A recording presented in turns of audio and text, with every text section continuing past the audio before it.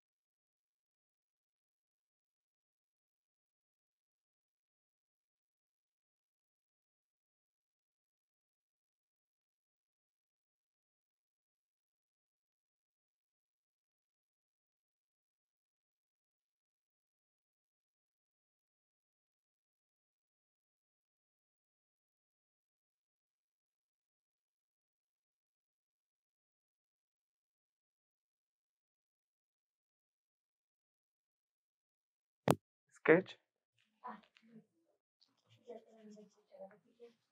Ok, eh, bien, eh, como comentaba, antes de iniciar con el dibujo sobre qué va a ser el, el, el, trabajo final, entre comillas, me gusta y recomiendo siempre trabajar con un pequeño sketch de gesto para entender la pose. Si bien este sketch no va a ser un, no tengo que cuidar demasiado de las proporciones. Me interesa entender más o menos cómo voy a trabajar el dibujo final, pero también me ayuda a ver eh, relaciones, por ejemplo, cuando nosotros vayamos a trabajar del natural o con fotoreferencia, todo lo que tiene que ver tanto retrato o figura, hay que buscar relaciones. Por ejemplo, eh, van a haber relaciones y ritmos. Un ritmo va a ser que va a partir desde la parte lateral del brazo, parte del antebrazo, por la pierna. Va a tener esta forma, este ritmo.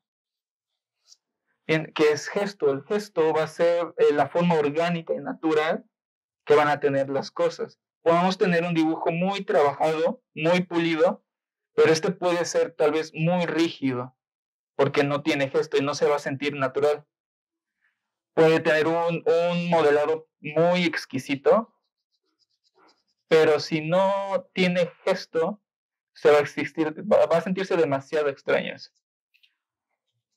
Entonces voy buscando también cierta relación que va a tener la parte lateral del abdomen justamente con la parte del hombro, con la parte del brazo.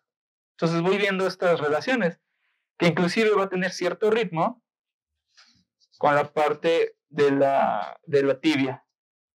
Todo esto lo voy observando, lo puedo ir justamente estudiando con este pequeño sketch. Que inclusive eh, durante un descanso, si se está trabajando con modelo, me va a ayudar inclusive a adelantar trabajo, porque al ser más pequeño, puedo adelantar más, terminarlo, pasar a hacer el dibujo y durante el receso seguir trabajando, hacer una aproximación a lo que estoy observando. ¿Por qué? Porque no estoy cuidando demasiado de las proporciones, pero sí tengo una idea de cómo trabajar. ajustar esto.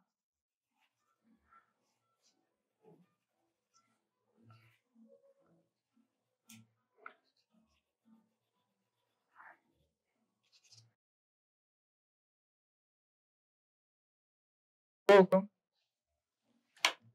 E inclusive también otro gesto que va a existir otro ritmo es la parte justo de las dos tibias de esta forma de acá. Entonces eso ya me va a gustar estas relaciones, estos ritmos me van a ir ayudando a ir gestionando mi dibujo.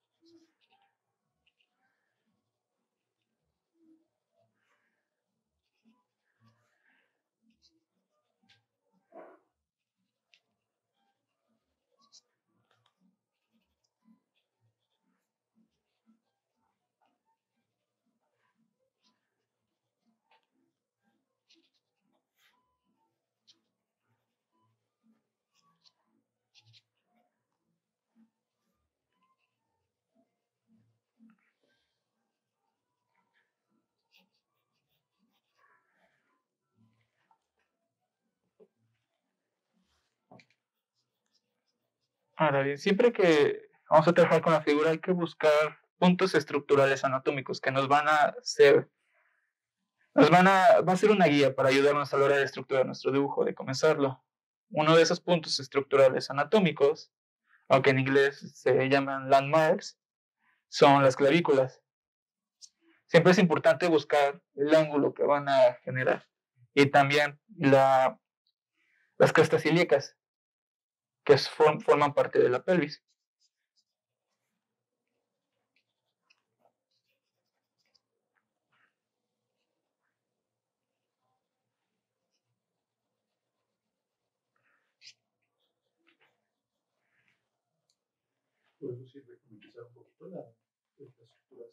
Sí, eh, justo iba a esa parte. Eh, lo mantengo así simple y abstracto. Siempre que voy a trabajar de configura, y es un método que es el método académico, es ir de lo general a lo particular. Entonces, ahorita no me interesa toda la información que puede haber dentro. Ahorita lo que intento trabajar son siluetas. Entonces, eh, por eso es que parecen formas muy geométricas, porque lo estoy viendo de manera abstracta. Elimino todo lo que hay dentro y solamente veo siluetas. Entonces, de esa manera va adquiriendo estas formas geométricas.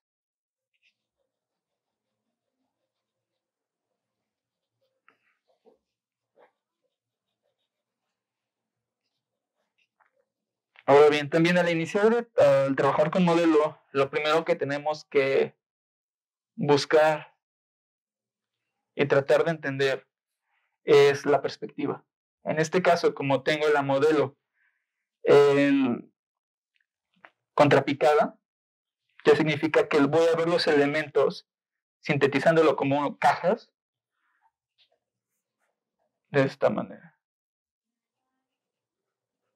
a ver los planos inferiores. de estas cajas.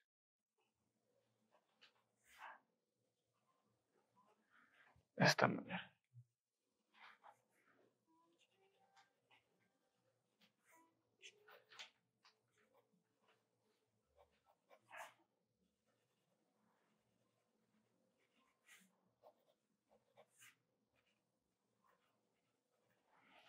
Entonces, de esta manera, simplificando con cajas, puedo entender eh, la perspectiva. En este caso es una perspectiva oblicua que estoy viendo en contrapicada. Bueno, se entiende de esta manera. Entonces, cuando uno comienza a trabajar con modelo, y como les comentaba, el natural o con fotorreferencia, hay que entender primero, poder identificar qué tipo de perspectiva es. ¿Por qué? Porque al momento de trabajar con el trazo, realizar los trazos, no va a ser lo mismo un trazo de esta manera, ya sea cóncavo o convexo. porque Estos trazos eh, convexos, voy a hacer con una esfera. Nos va a describir el tipo de perspectiva. Si yo lo veo de esta manera, pero me da a entender que estoy viendo la esfera desde abajo, sin en cambio, yo hago esto y lo trabajo de esta manera, estoy viendo la esfera desde arriba. Bien, por eso es importante identificar la, la perspectiva.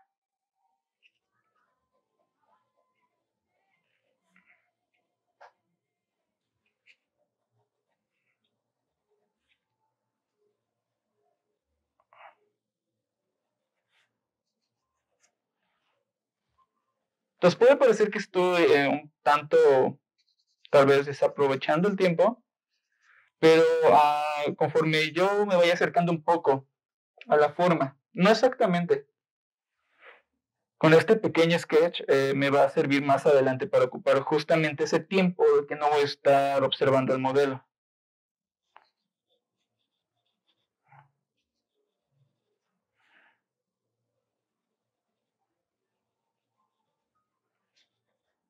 Entonces, por ejemplo, yo con este pequeño sketch, está todo muy simplificado, pero se entiende la pose, inclusive el peso de las formas, ¿no?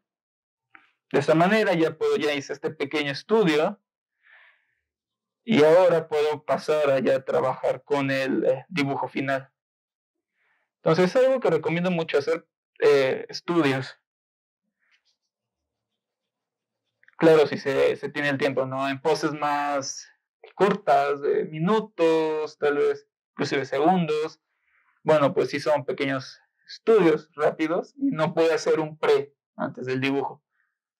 Ahora bien, ya que tengo esto, eh, voy a empezar a trabajar, voy a colocar límites.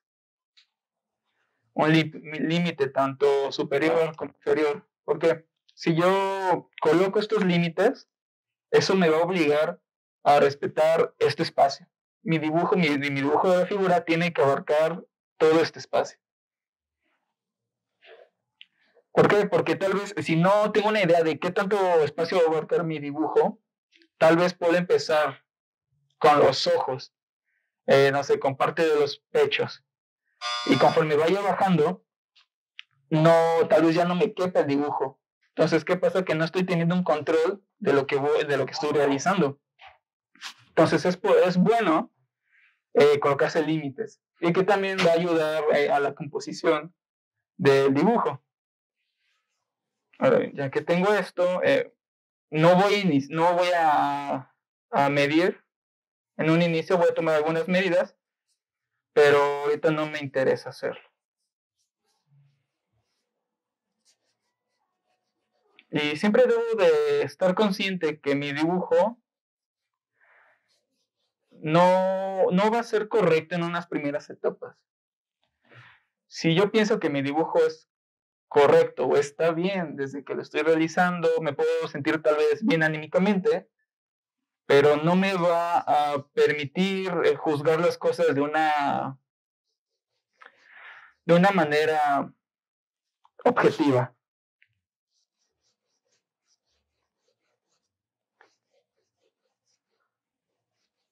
¿En esa área es importante sacar un centro o no?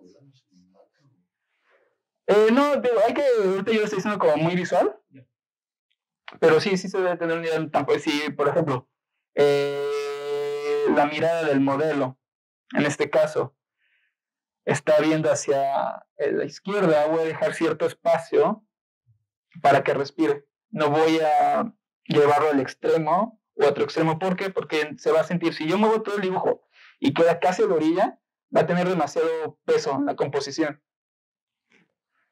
Entonces, eh, podemos centrarlo. Esto va a depender del tipo de pose.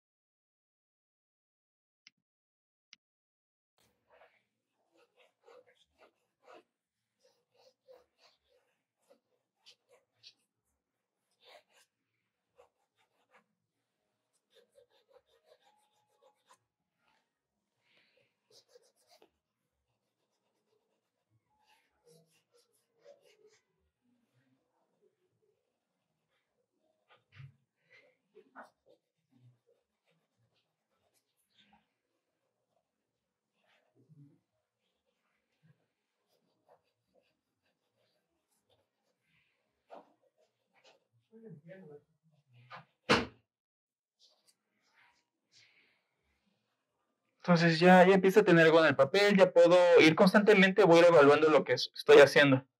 Ya sé que esto es totalmente incorrecto, pero me da la pauta para ir ajustando y tener una idea de dónde empezar, hacia dónde dirigir mi dibujo.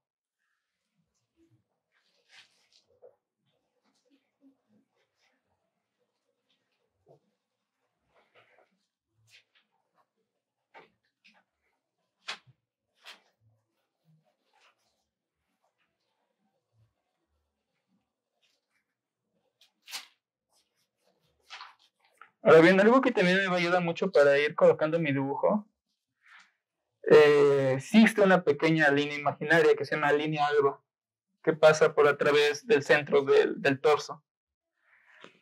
Por ejemplo, eh, va a pasar justo por la parte media de los pechos, donde se encuentra el esternón, y va a pasar por el ombligo y por la zona de la pelvis.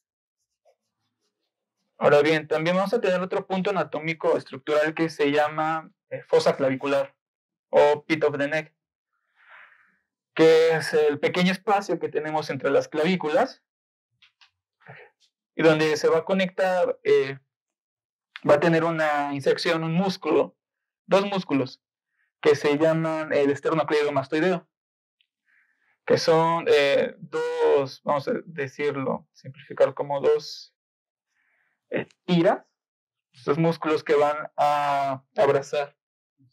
Son estos dos. Nosotros, cuando, nosotros eh, volteamos y generamos una tensión, eh, son bastante reconocibles. Entonces, estos, estos dos músculos mantener su inserción tanto en la clavícula como en la parte de la fosa clavicular. Bien, entonces la fosa clavicular va a ser este punto en donde van a salir estos dos músculos. Entonces, el tenerlo en mente me va a ayudar para gestionar mi dibujo. Entonces, a partir de ese punto estructural anatómico va a pasar la línea alba.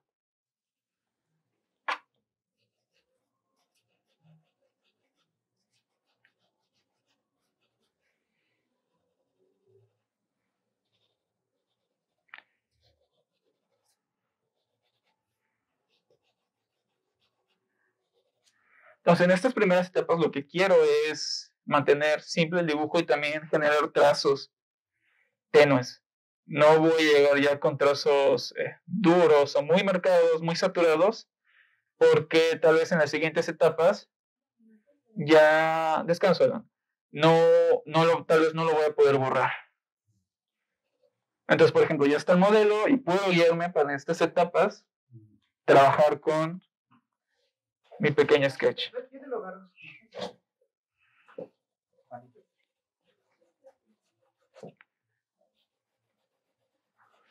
También va, eh, pues en este punto tal vez puedo ayudarme de recordar la información visual que estaba observando. Hay quienes tienen esta habilidad, y quienes no la tienen, se puede trabajar, trabajando de dibujo de la imaginación. Y también de con ciertos eh, eh, conocimientos de anatomía.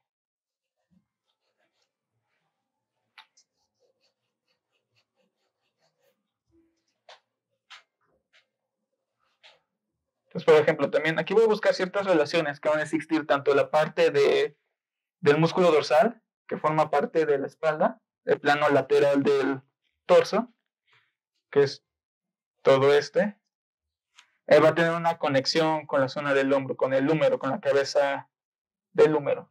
Entonces, tengo este, este pequeño conocimiento y sé que me va a ayudar para aprovechar el tiempo.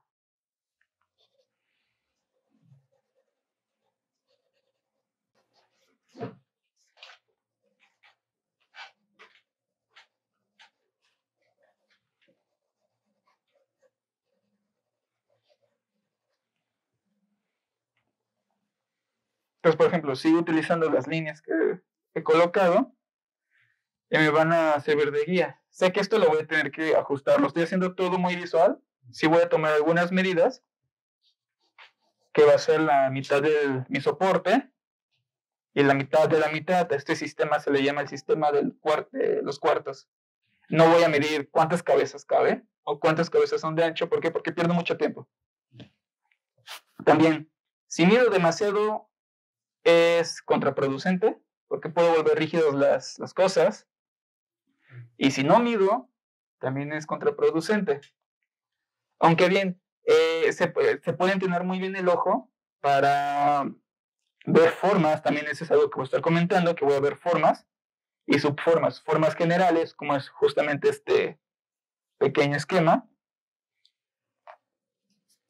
y formas más pequeñas, que voy a ir explicándolo más adelante, pero también a partir de, mucha observación, de mucha práctica, se puede dibujar sin medir. Pero sí se van a tener nociones de proporciones y de relaciones. El tener estos conocimientos de anatomía, de relaciones y ritmos, nos, va, nos van a ayudar a encajarle el dibujo y que no esté demasiado eh, disparadas las proporciones o rangos de espacios.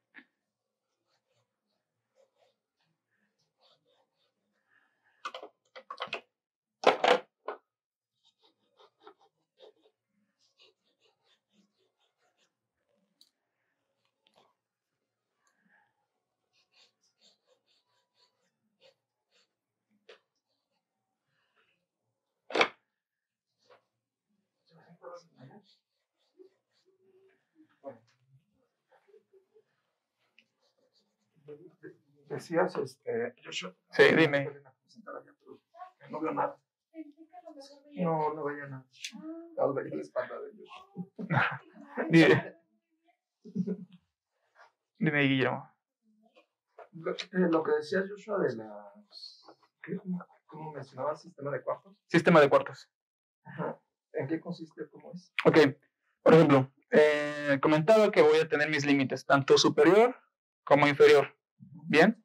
Ahora, ya que tengo estos límites, voy a buscar la mitad de este espacio. Previamente, para aprovechar el tiempo, he colocado una nota justamente ya buscando esta mitad. Que es más o menos tendría que ser esta.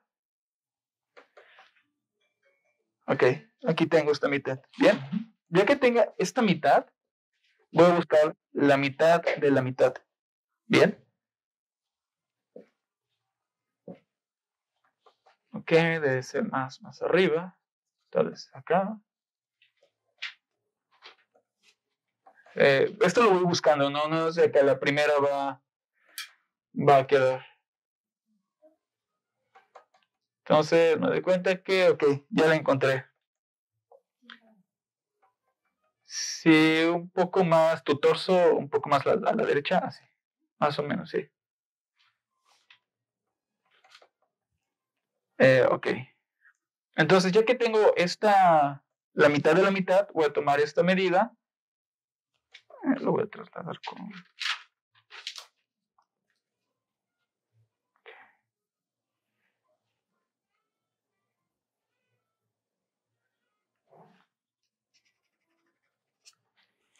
Voy a tener la mitad de la otra mitad, ¿bien?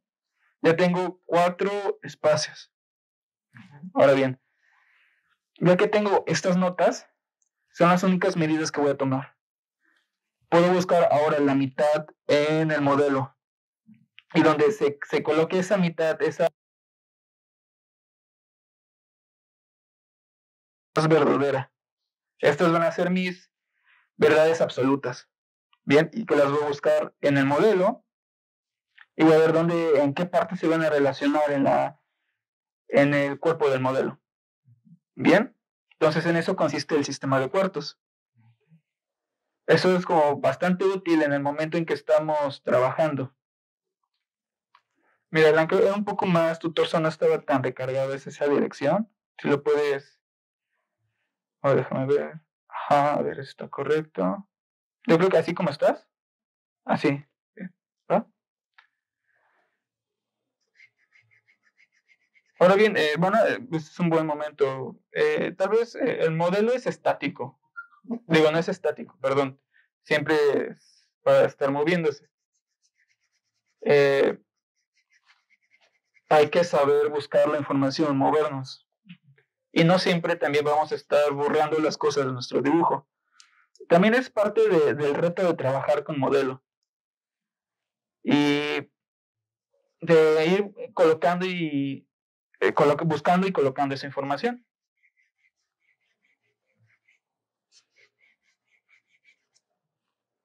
Pues, por ejemplo, me doy cuenta que los pechos tendrían que ir un poco más abajo. Busco el ángulo que tiene.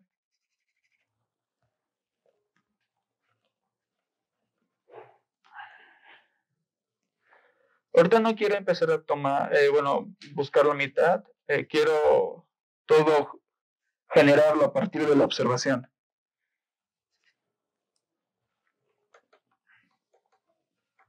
Pero como comentaba, sé y estoy consciente que lo que estoy trabajando no, no va a ser correcto.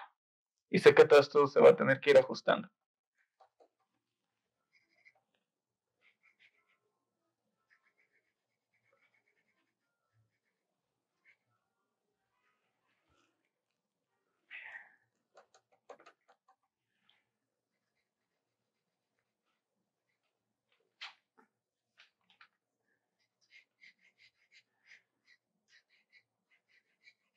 También algo que me va a ayudar muchísimo para ir gestionando mi dibujo es buscar los espacios negativos.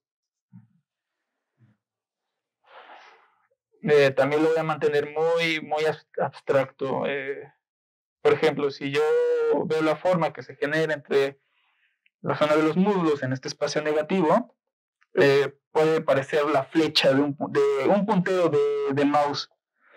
No, le estoy poniendo como un nombre porque lo puedo ver de esa manera de ver como ciertas formas y darle cierto nombre nos va a ayudar. Ahorita no, no lo quiero, no quiero pensar que tengo que hacer piernas. ¿Por qué? Porque mi cerebro al, dibujar como no es una actividad de supervivencia, lo que quiere es terminar lo más rápido posible y hacer otra cosa.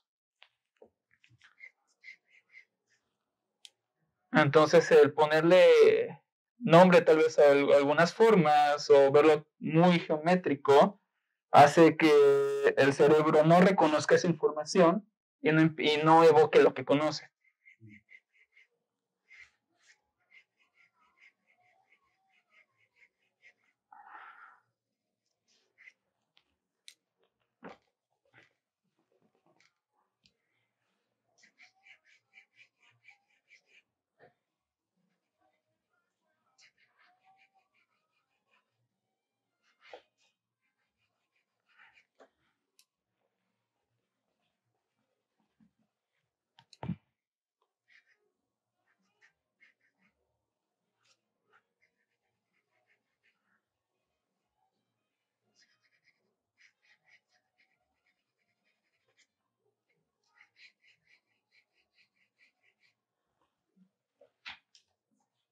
Entonces, como pueden ver, eh, voy ajustando las primeras notas que tenía y ya me voy acercando al, al tipo de cuerpo del modelo.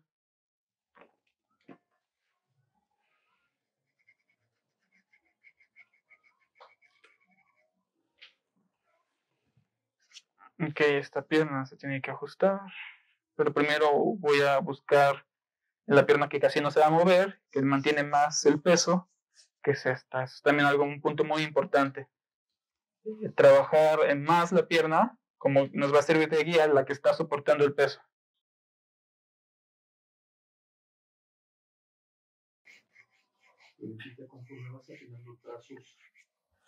Eh, o bueno, resolviendo ciertas eh, líneas, ¿es válido ir un poquito curveando la línea? Sí, sí se puede.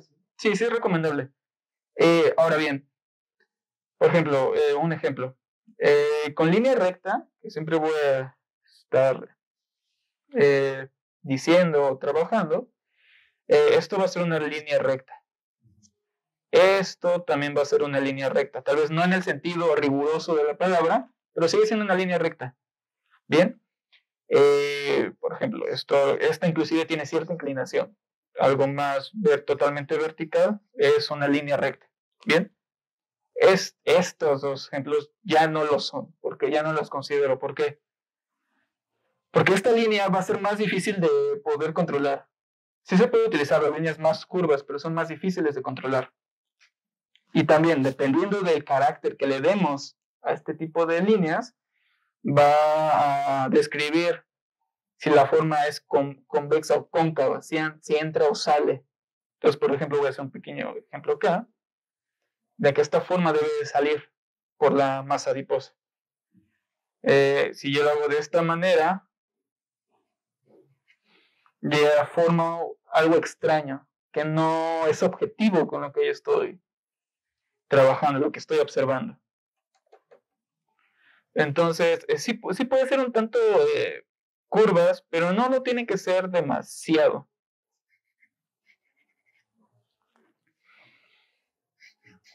Inclusive también darles como, por ejemplo, esta forma, ¿no? esto no es una línea totalmente recta y eso le da un carácter de describir eh, la, la parte del gesto. Bien, un error muy común al querer trabajar de esta manera es hacer todo totalmente recto. Sí sirve como primeras etapas, pero tenemos que romper con eso y buscar más eh, formas curvas. Entonces eso hace que ya no se sienta eh, rígido, ya no se sienta natural, perdón, el, la pose de nuestro dibujo.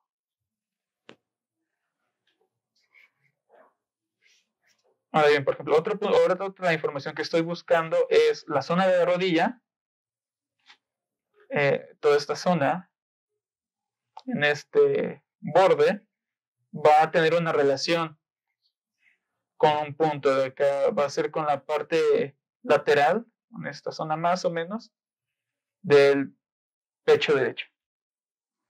Entonces, eh, si quiero corroborar que esto es correcto, puedo utilizar mi aguja o un palito de madera y buscar esta relación. Ok, me di cuenta que no, es un poco más hacia atrás, eh, sí es con la parte lateral del pecho, al menos donde yo estoy viendo, pero eh, en esta zona de acá, no en esta. Entonces me doy cuenta que donde yo tengo esta información de lo que podría venir del pecho, sí es correcta, y entonces esta información la tengo que hacer más adelante. Bien, pero sí tiene esta relación con este punto de acá, eh, que inclusive es lo que estaba buscando, que es la línea alba. Bien.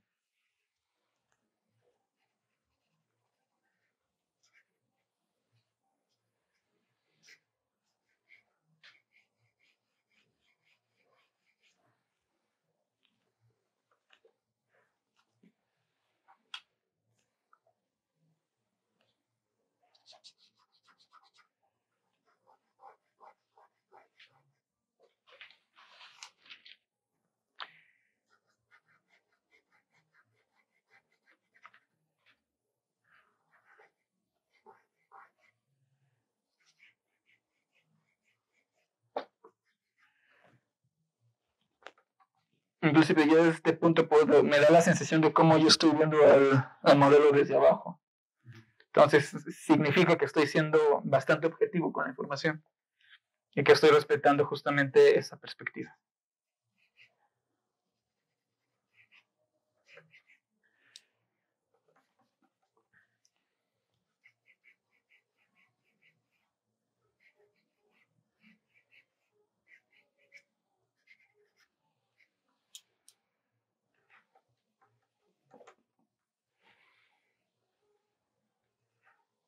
Ahora quiero ir limpiando los trazos que, que ya hice para poder evaluarlo todo de una mejor manera, tenerlo más limpio.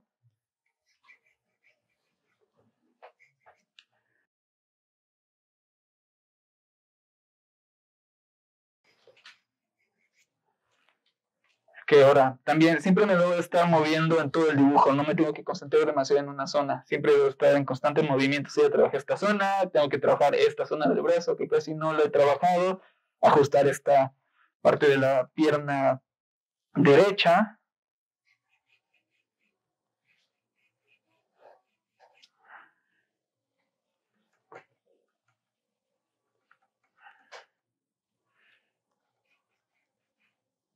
Entonces, por ejemplo, si acá viene una relación que me va a ayudar, es la parte lateral del mentón en este plano, va a tener una relación con este pliegue desde donde yo estoy observando, entonces puedo buscar esa relación, ese ángulo. ¿Y se traza, verdad? Sí.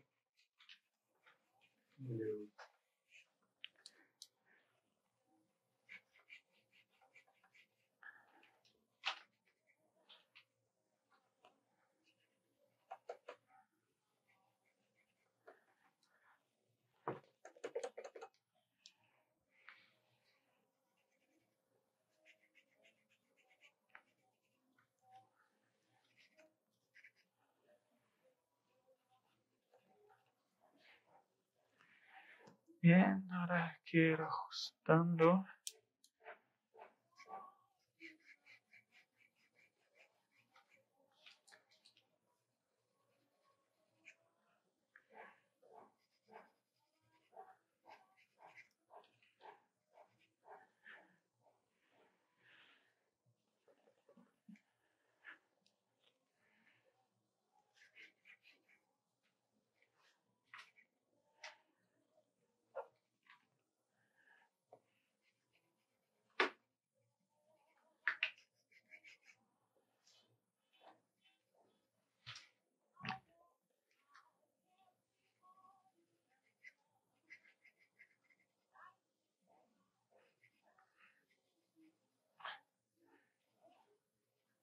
Es, muy, es muy importante buscar las, relaciones.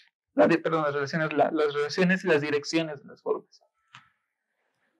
Por ejemplo, con, esta, con este pliegue de la zona de los pectorales mayores, eh, va a tener, no va a ser totalmente recto, sino que va a tener un plano que va en esta dirección y después entra. Entonces debo de tener cuidado con, con eso poco a poco.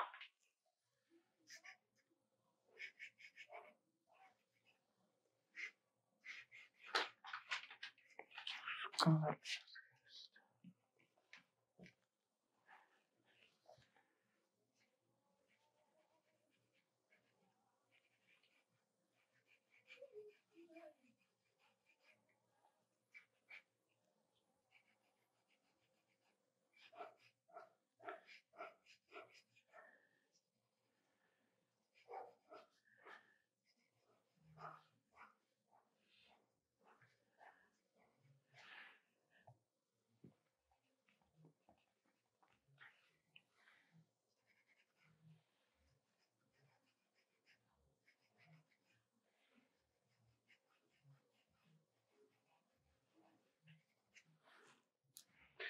Como pueden observar, empiezo a ser más específico conforme voy avanzando, ya voy buscando más planos y formas que van a entrar. Por ejemplo, también vamos a tener algo que se llaman overlaps, que son formas que nos van a describir que está encima una de otra, que en español son, bueno, son formas que están encima de otras, ¿no?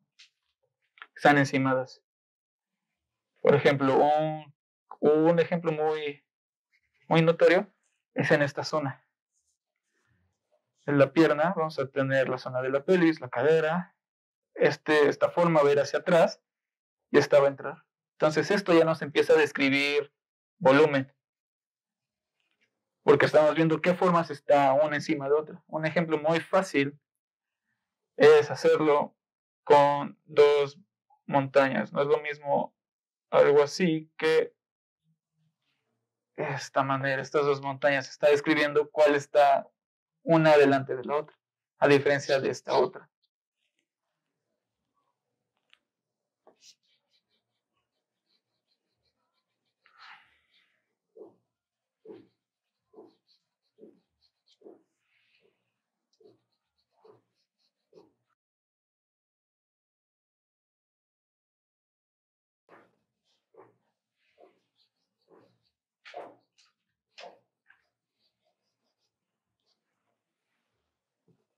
Ok, ahora voy observando, esta pierna obviamente está muy amplia. Tiene que ajustar.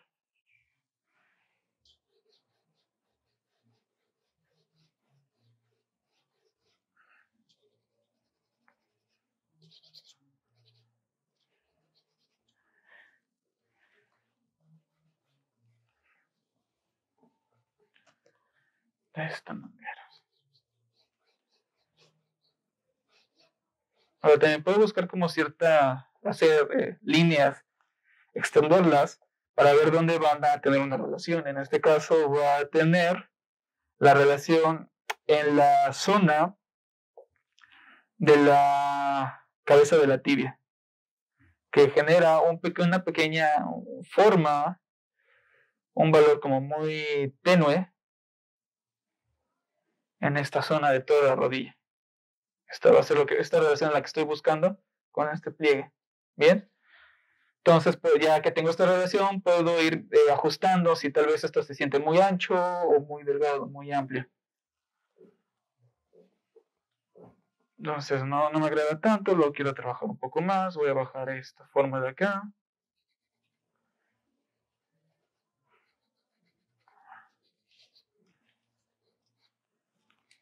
Y me empieza a agradar mucho más.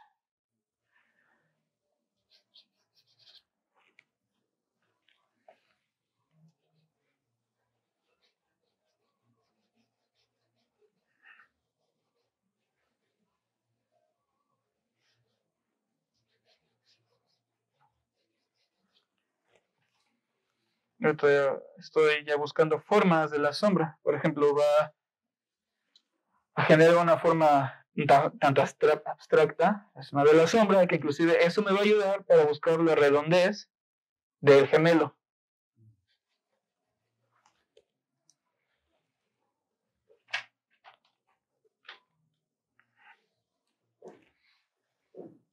Yo que observo y juzgo que este no es el ángulo que debería de estar, entonces tengo que ajustarlo y debe tener otra inclinación. Entonces es muy importante prestar atención en los ángulos.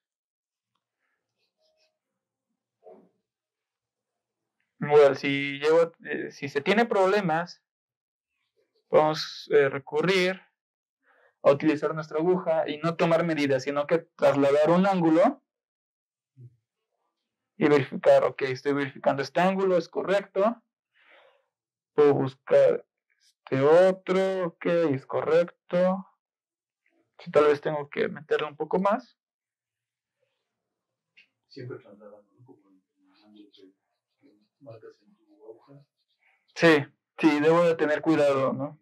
Sí, no, no de que voy a buscar cuánto mide esto o este espacio, no, simplemente salgo rápido, busco ángulo, traslado, que me doy, me doy cuenta que es correcto, que eh, si tengo que ajustar, lo ajusto.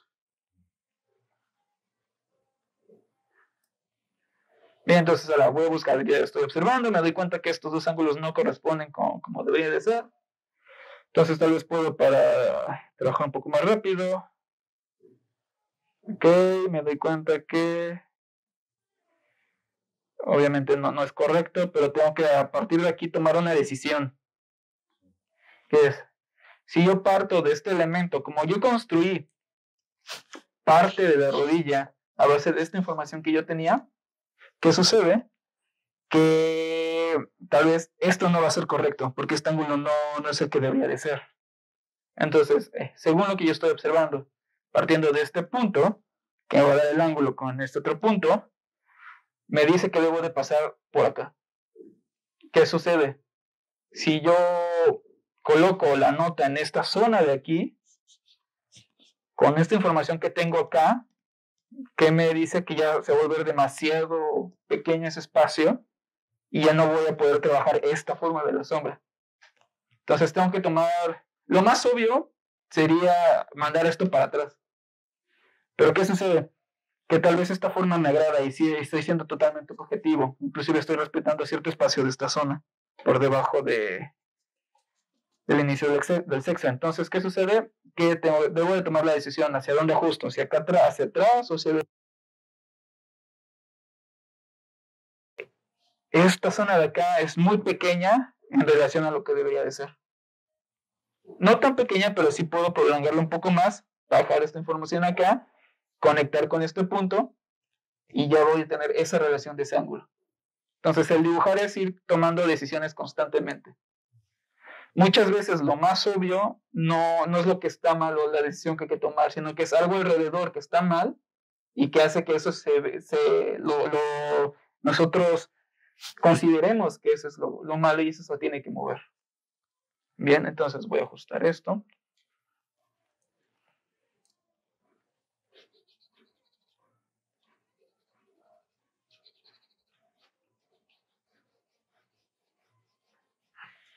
Ok, ya es demasiado, pero puedo buscar el ángulo.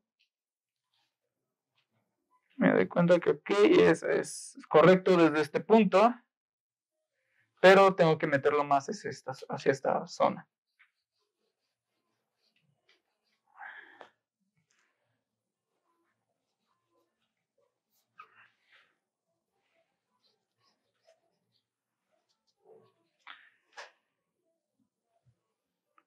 Busco ángulo, ok, ya eh, es el correcto. Entonces ya tengo que ahora ir ajustando ya un poco más estas formas de acá. Entonces ahora voy a observar este, este, espacio de acá, si es correcto el ángulo, ok, si es correcto, es correcta esta información, pero tengo que ir ajustándolo para que se sienta más, más orgánico. Entonces, como bueno, conforme voy trabajando, no, no, no el gesto.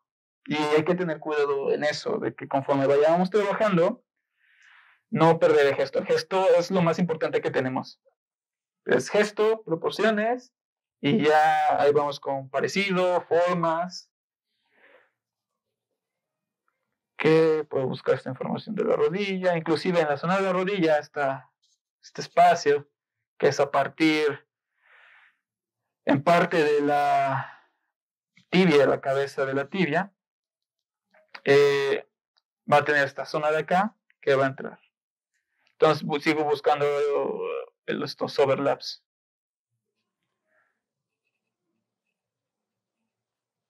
Puedo hacer tal vez poner algunas notas de información.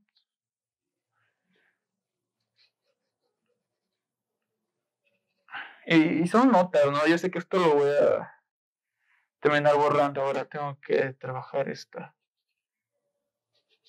esta zona de acá. Tengo que trabajar el brazo. No, no, no lo he, ni lo he bocetado.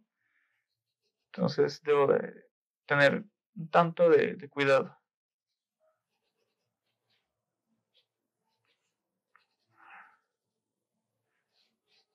Busco esta relación. Ok, esto es correcto. Conecta acá.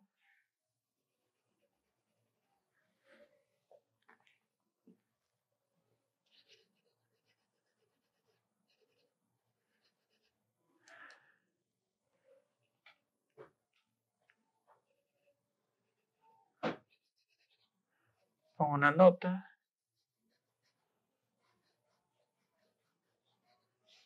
Veo este espacio, me voy a ayudar para poder trabajar la mano y parte del brazo. Entonces, ok. Tengo que ajustar un poco más. Descanso. Voy observando. Y puedo aprovechar este tiempo para ir limpiando el trazo poco a poco.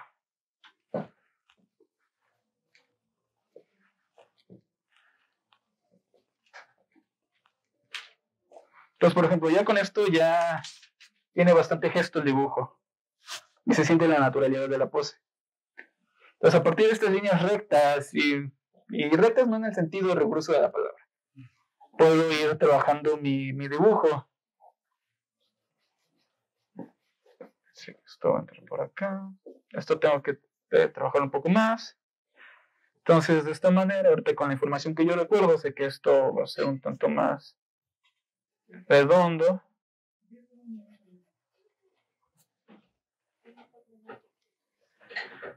Y poco a poco ahorita ya en, este, en estos bloques que ya pasaron voy a utilizar una herramienta que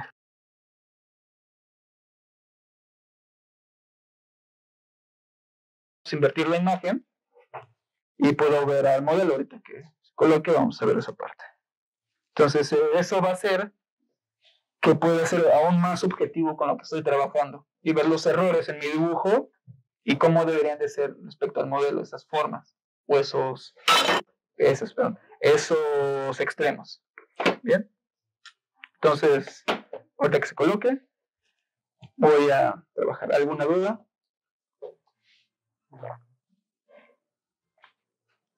Hay una preferencia de estos eh, primeros trazos, o sea, el, el, tipo de lápiz o el tipo de... Sí, eh, yo recomiendo siempre utilizar un HB porque es bastante, te puede dar, un, dar unos valores oscuros como unos valores un tanto más claros, mantenerlo. Utilizar un lápiz eh, muy duro eh, va a hacer que sí sea muy tenue, pero para siguientes etapas no nos va a ayudar muchísimo. Entonces yo, yo trabajo a, con un solo lápiz, una sola graduación que es HB. Y a partir de ir por capas de grafito, voy logrando los valores. Incluso, por ejemplo, estos ejemplos son, sí, todo HB los, sí.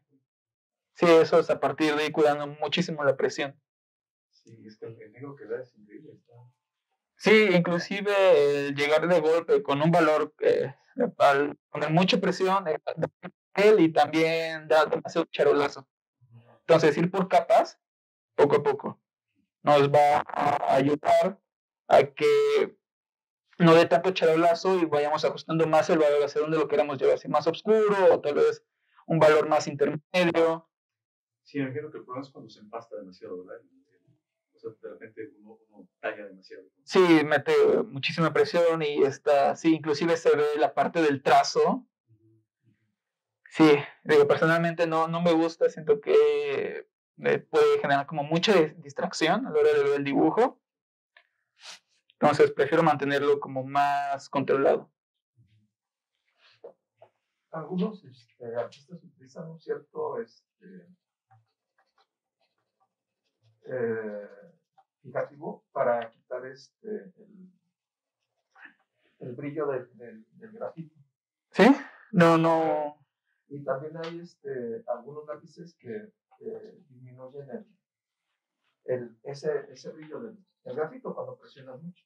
Pero lo ideal es mejor trabajar así. Sí, por capas, sí, eso es por capas. Eso, eso es lo ideal. Yo no, no, no dudo que existan herramientas.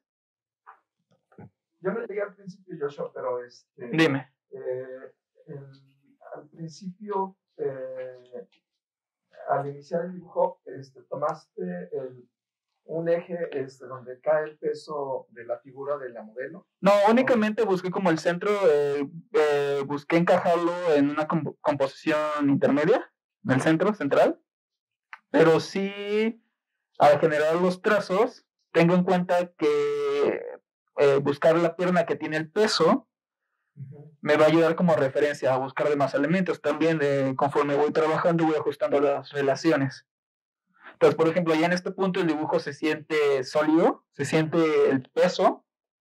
Y el gesto. El gesto y también las proporciones, no, no varía, no he medido y ya se siente visualmente está... No, no se siente sí, no, exacto. Entonces, eh, yo a partir de estar la constante práctica con el dibujo en modelo y trabajar esta parte de ver formas, ver siluetas, me ayuda a ir buscar relaciones, ¿no? Como pudieron ver de conectar este punto con este otro punto, de este punto con este otro punto, de todo este gesto, de esta zona, me, me ayuda, inclusive de este punto con este otro punto. Entonces son esas relaciones que, no, que son inamovibles, al menos que cambie demasiado el modelo. Pero en este punto, punto puedo ir trabajándolo y ya me ayuda a ir gestionando las proporciones. Sin necesidad de estar, ok, ¿cuántas cabezas voy a medir? De, de alto, de ancho. Entonces voy prestando muchísima atención con lo que voy trabajando. Ok, eh, bien.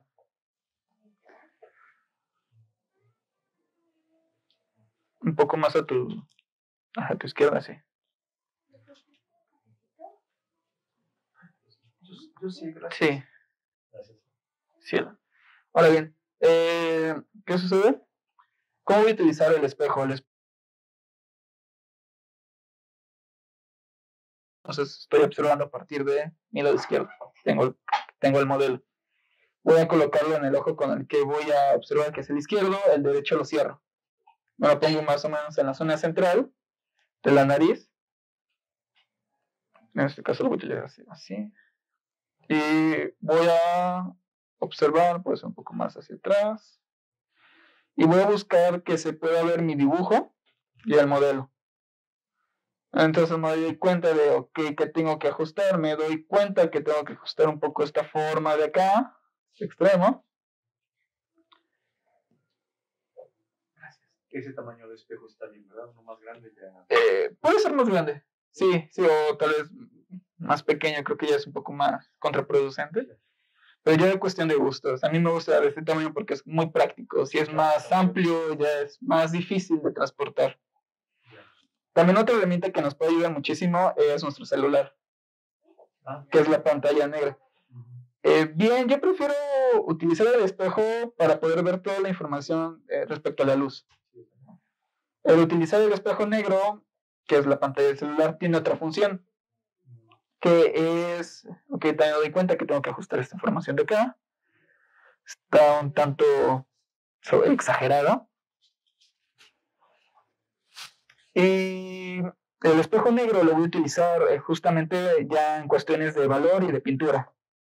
El espejo negro lo que va a hacer es que ya me va a mostrar eh, la información, la luz, sin la saturación del color. Entonces, en este caso, me, me interesa utilizar el espejo normal al espejo negro. Bien, entonces voy a ajustar esto un poco.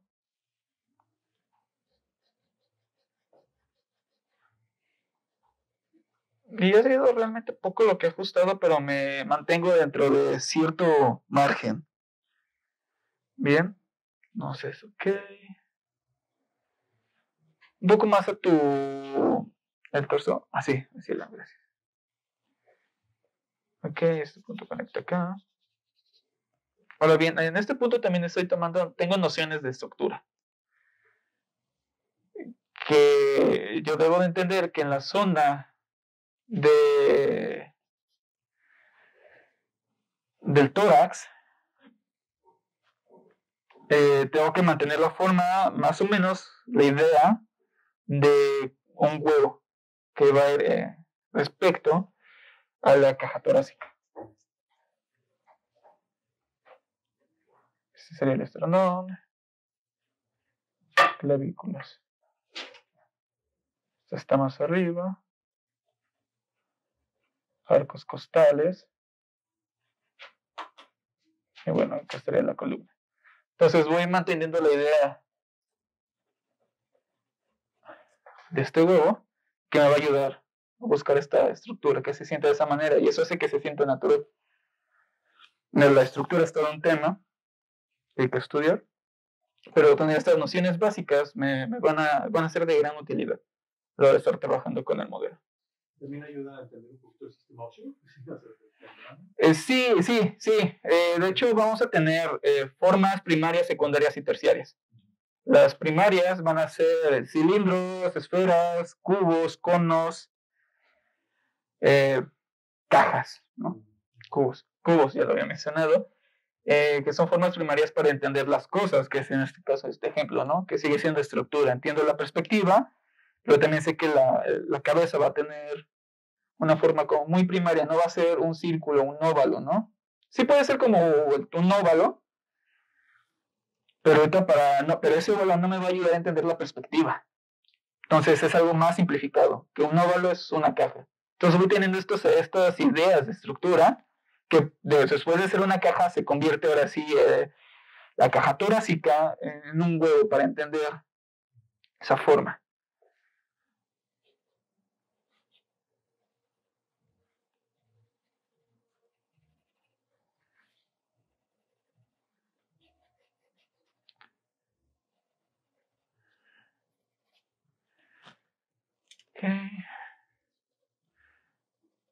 Quiero recuperar un poco de información respecto a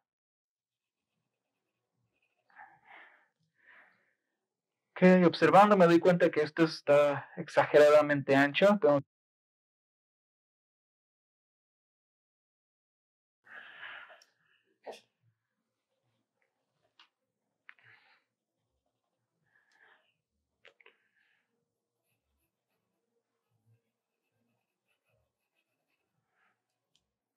Y sé que se va a generar como cierta forma un tanto redonda que es parte de la cabeza del húmero, la cabeza proximal del húmero. Y que bueno, va a conectar con cierta forma que son los deltoides. Va a generar esta forma un tanto con este corte en diagonal por parte de, esos, de ese músculo, de esa agrupación de músculos.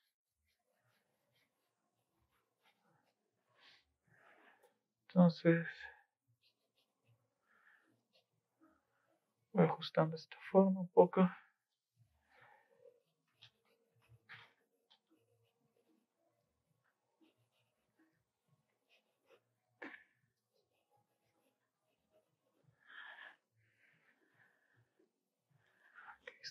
Más abajo.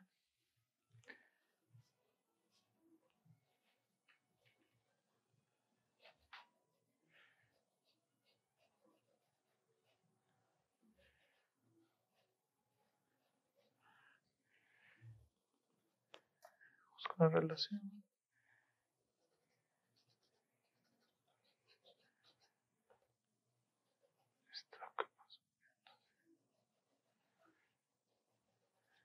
Creo que estaría un poco más abajo. Este punto con este punto, ok. Como nota sirve. si en algún momento, por ejemplo, bueno, siempre pasa, ¿no? Que el muerto de repente no está Exactamente. igual como... Uno puede estar haciendo ese tipo de convenciones en cuanto a espacios de repente. Sí, es... Justamente creo que eso es algo como muy padre de trabajar con modelo, que inevitablemente el modelo se mueve, entonces respira. Entonces, ¿qué sucede? Que eso va a ser un, un reto para nosotros. Entonces podemos de cierta manera interpretar toda esa información de tal vez mover esta, esta piedra un poco más, no sé por poner un ejemplo, ¿no? La puse un poco más en esta dirección. Entonces, ¿qué sucede? Que yo puedo decidir si dejo eso o no. Obviamente no tienen que ser cambios demasiado bruscos. Si son muy bruscos, sí se le tiene que decir al de, sabes que eh, puedes volver o girar hasta este punto. Pero esos pequeños cambios son, es lo que uno puede decidir si mantenerlos o no. Y eso... Sí, sí. Sí, que tengan eh, un, un, una lógica.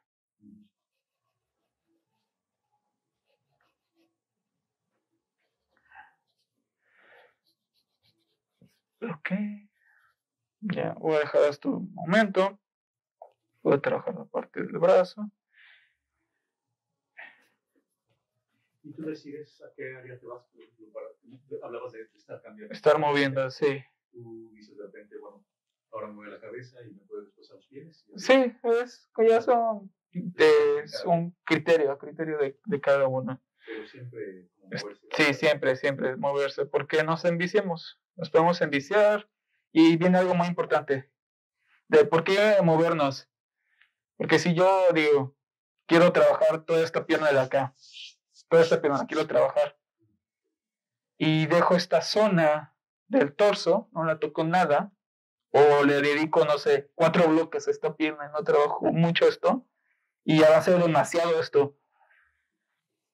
Y si utilizo el espejo, tomo un break, me distraigo y vuelvo al dibujo, ¿qué sucede? Que voy a dar cuenta del error.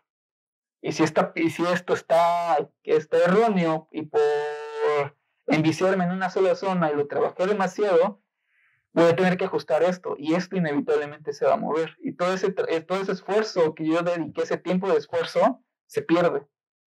Entonces también es algo, pues, esa es la parte importante de estarnos moviendo, porque vas ajustando el todo. Entonces dices, ok, tengo, tengo en cuenta que esto está mal, ok, entonces esto se va a mover, esto está mal, esto se va a mover de acá, o esta la, dirección de la pierna no es correcta, entonces voy a ajustar esto, esta otra pierna. Entonces el enviciarnos eh, no, se vuelve contraproducente. ante moverse constantemente.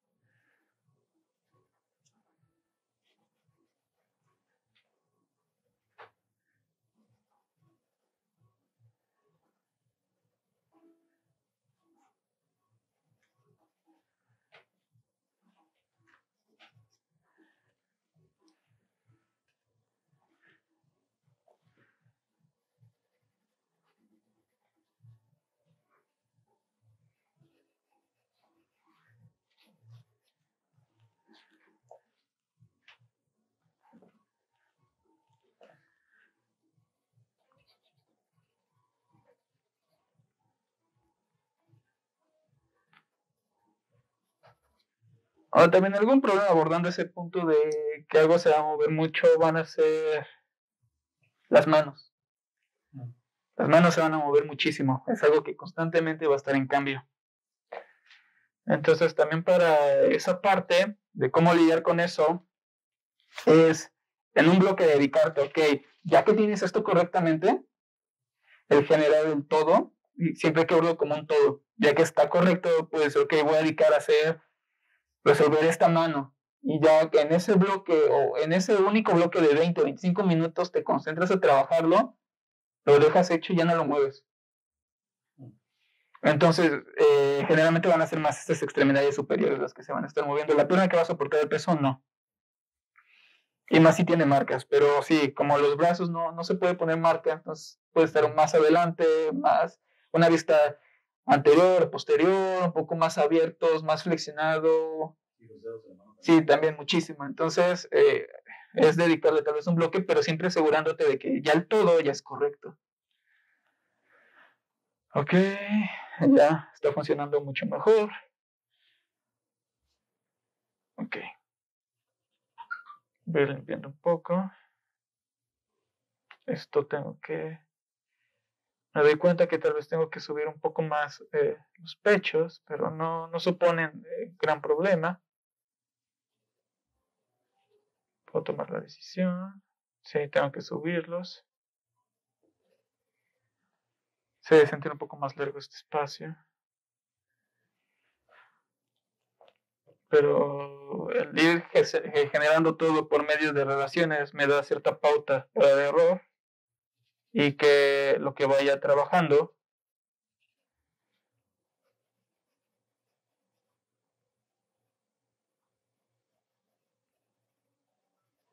no cambie demasiado.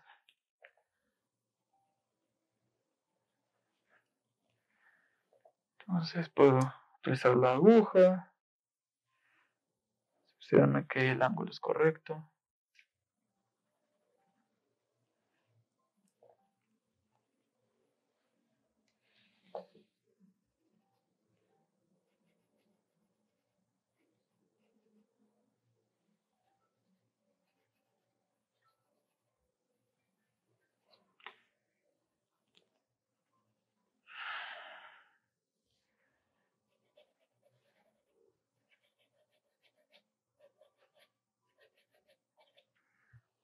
A este punto me voy ya ayudando de una goma que recomiendo mucho que es la monocero para ir limpiando el dibujo.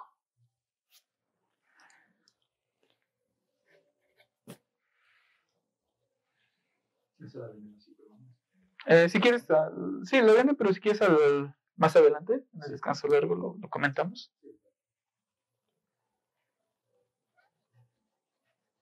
Entonces, mira, voy ajustando un poco esta información. No voy perdiendo el gesto, que es lo que comentábamos. Voy a limpiar esta zona. Y ahí tengo, por estar trabajando de esta manera tan rápido, ya se genera un valor un tanto obscuro, eh, en comparación al blanco de papel, que no me deja de valor la, la información. lo limpio y quiero rescatar la clavícula.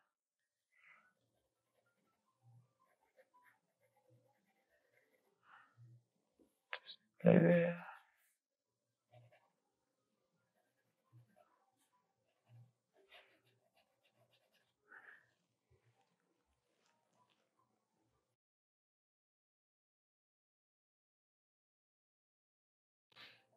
Okay.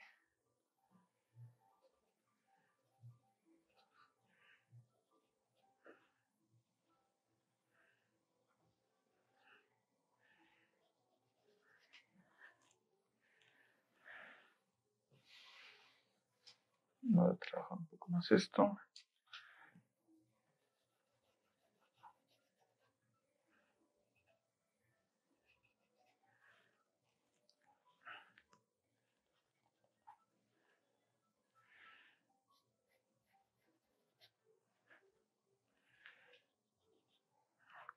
observo.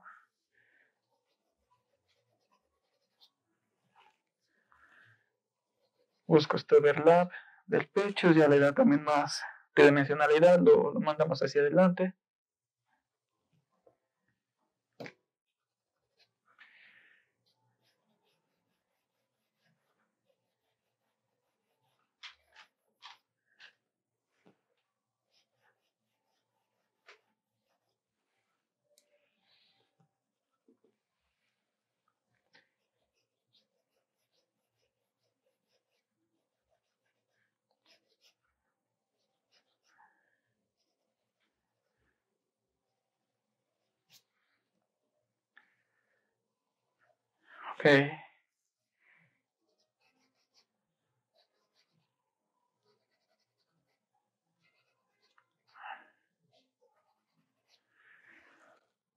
Ya que tengo esta información y me agrada visualmente, eh, ya puedo empezar a ser más específico ahora con las subformas y buscando sombras, hacer el bloqueo de, de sombras. Sí. Para limpiar. Eh, para zonas pequeñas, la monocero. Y para zonas más amplias, por ejemplo, en esta zona voy a utilizar la goma moldeable. Sigo teniendo en cuenta la línea alba, es muy importante. Esa puede seguir eh, marcada, ¿verdad? Sí, todavía tenue, pero por ejemplo, ya en este punto me voy a ayudar para colocar el ombligo. Busco lo alto la relación de este brazo con el ombligo. Y ya tengo la nota. También me va a servir un tanto para tal vez eh, una nota, pequeña nota de, val- de como valor para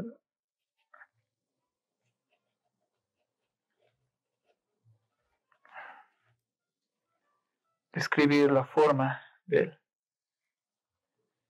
del, ab- del abdomen inferior, de los abdominales inferiores respecto a cierta forma que se genera por la masa adiposa.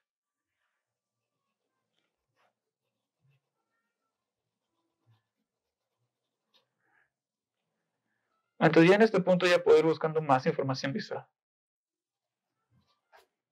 Digo, adquiriendo también ya más carácter y más volumen.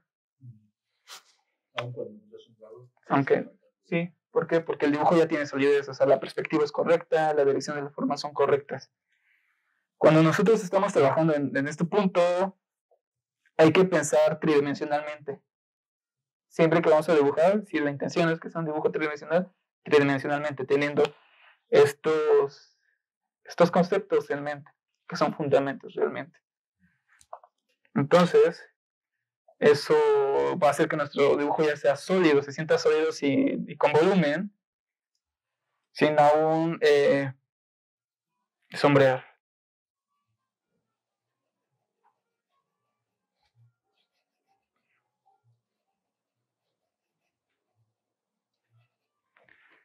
Ok, quiero trabajar un poco más esta zona, ya no tenerla tan simplificada. Aquí me voy a dar eh, de ciertas formas, pensarlo como un cilindro. De esta parte, este plano frontal de la pantorrilla que corresponde a la tibia. Voy a tener el gemelo.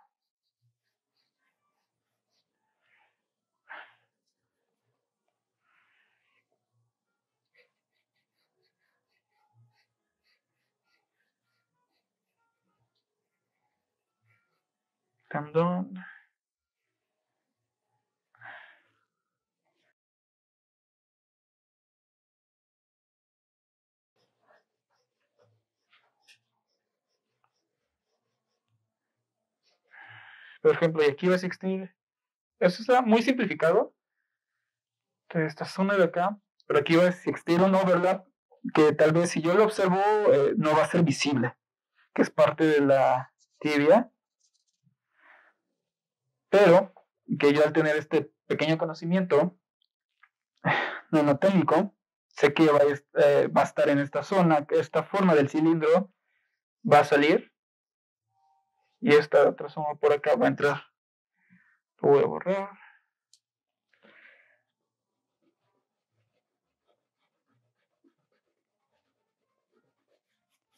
Un poco más visible.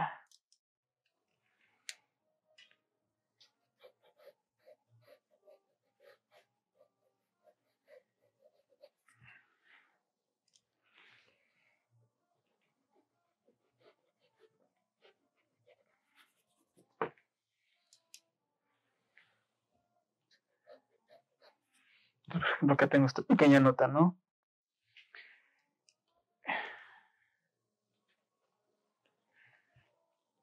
voy a buscar un poco más naturalidad. Esto como lo tenía se siente muy rígido. Entonces voy ajustando.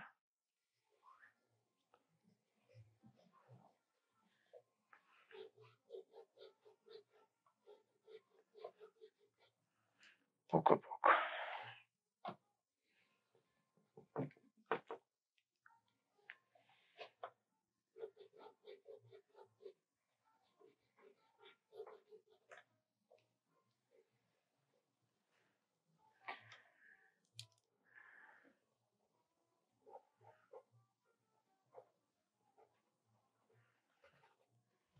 Ok, empieza a más.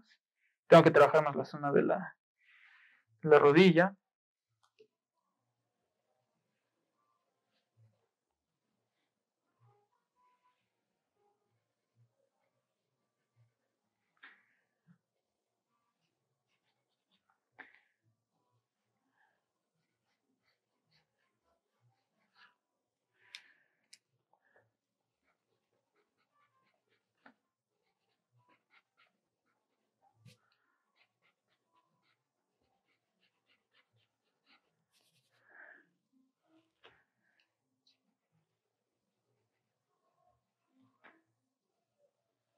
El tobillo.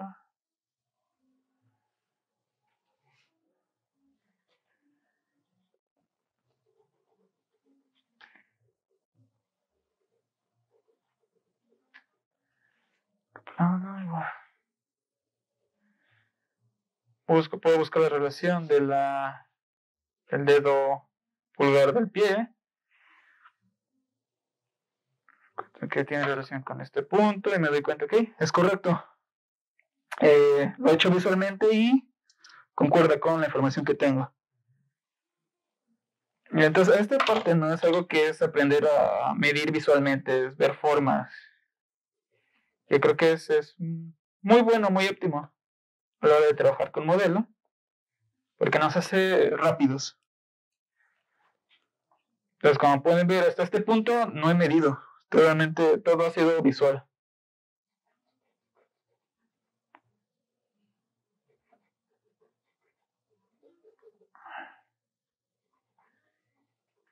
También interesa mantener simple el pie. No realizar dedo por dedo. ¿Por qué? Porque ya me estaré enviciando en una sola zona y te tengo más por trabajar. Ok, me interesa hacer esto un poco más redondo.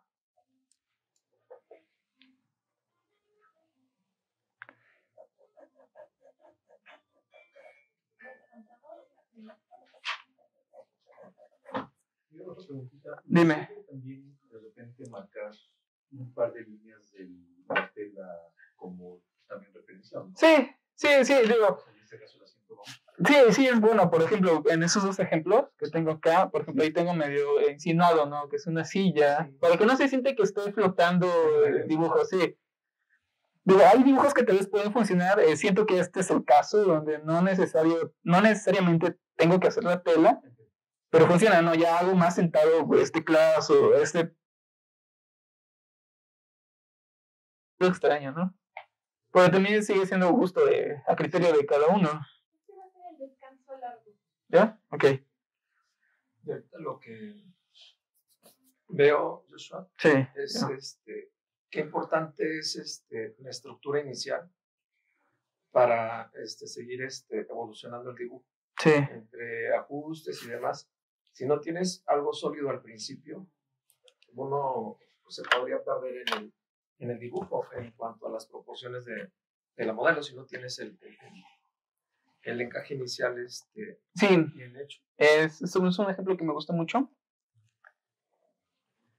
Que es que esto hay que pensarlo como los cimientos de un edificio.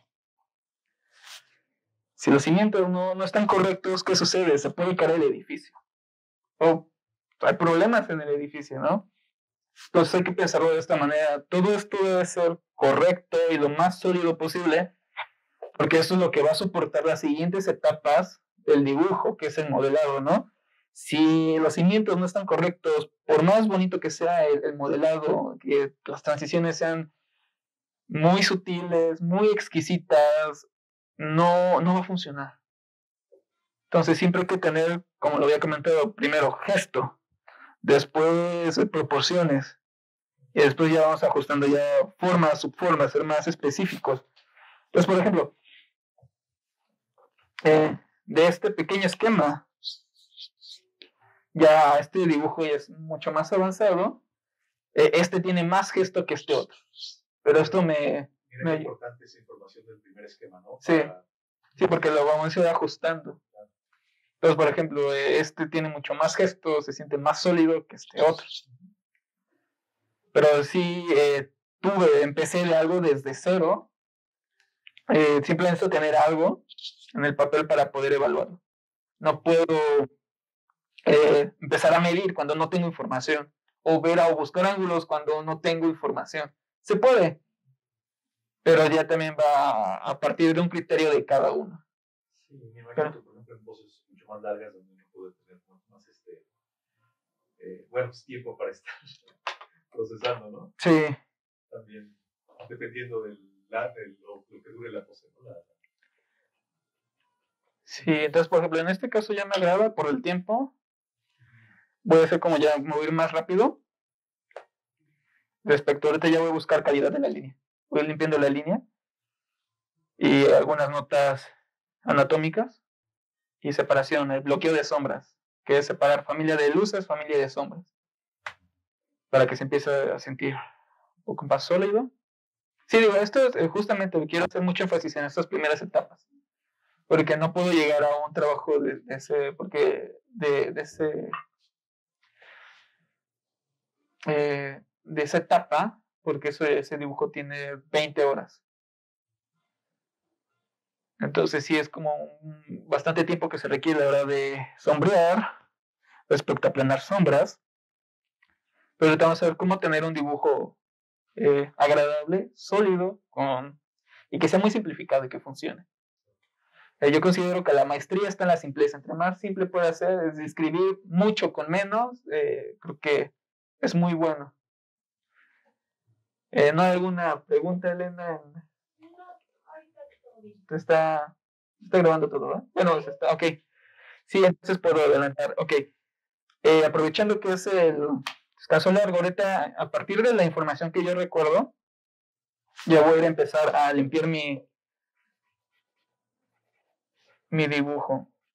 Ya tengo que tener el trazo ya no tan ancho. Para mí estos trazos son muy anchos.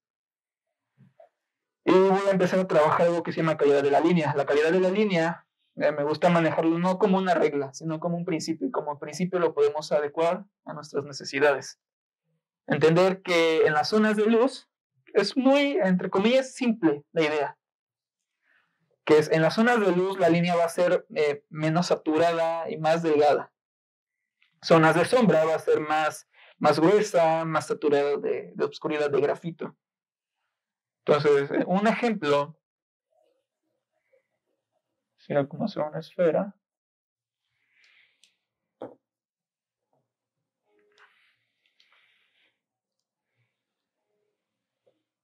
Y podemos decir que nuestra fuente de luz está en esta dirección.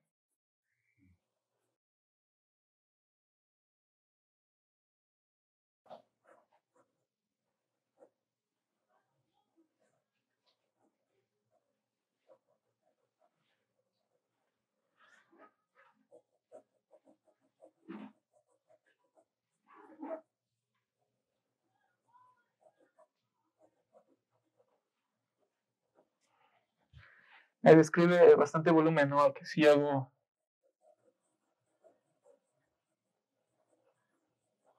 esto otro.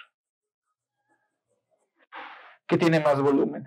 Ambas tienen volumen, porque estoy pensando en la estructura como una esfera, con pocos elementos, pero ¿cuál tiene más volumen? Este de arriba.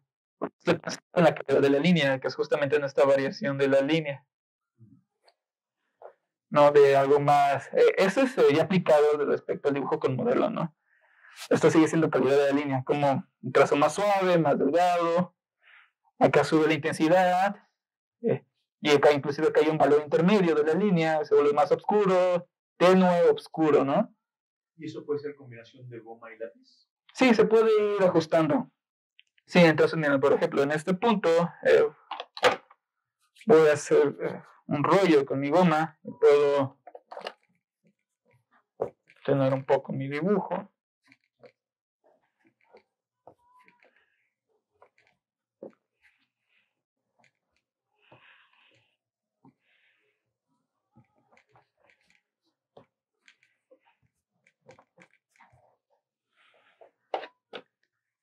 Está más tenue, por ejemplo, en esta zona que yo sé que va a estar en sombra, puedo empezar a adelantar el trabajo. Siempre recomiendo tener el lápiz bien afilado.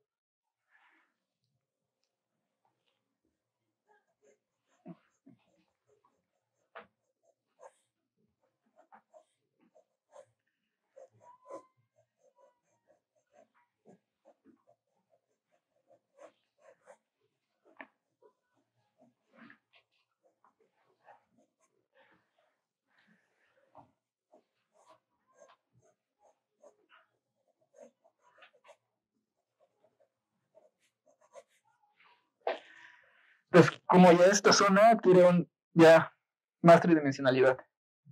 Esta zona de la pantorrilla. Entonces puedo tal vez buscar cierta información que sé que está ahí.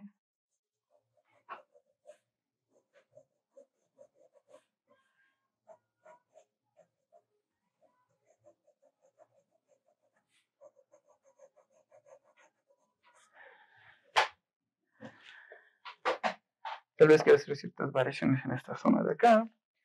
Voy a utilizar mi goma.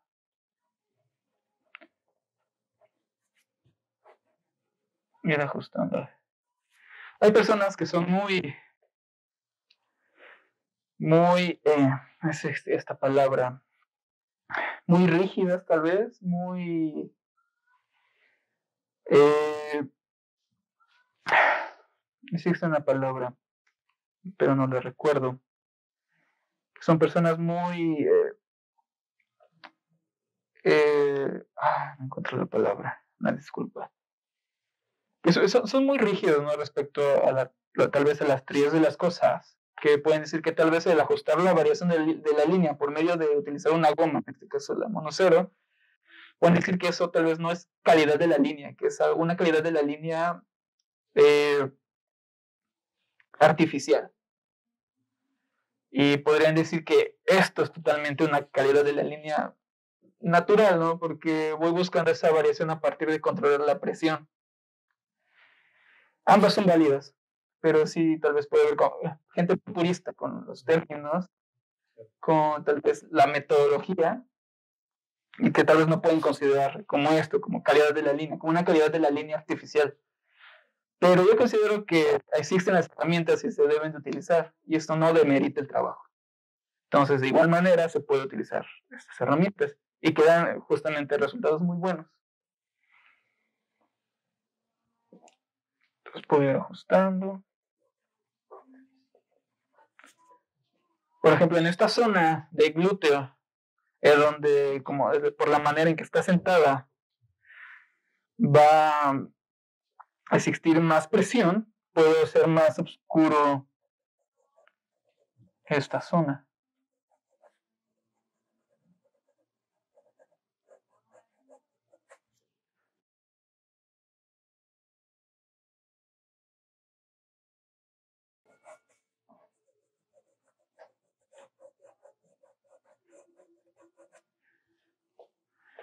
ir limpiando estas.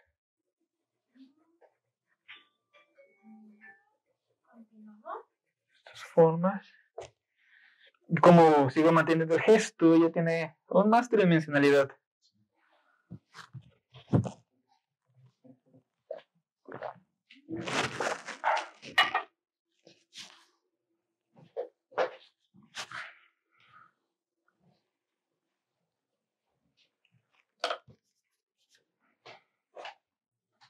Voy a trabajar esta zona y después voy a subir. Ya sé que esta verdad de la, zona del ombligo puedo mantenerlo.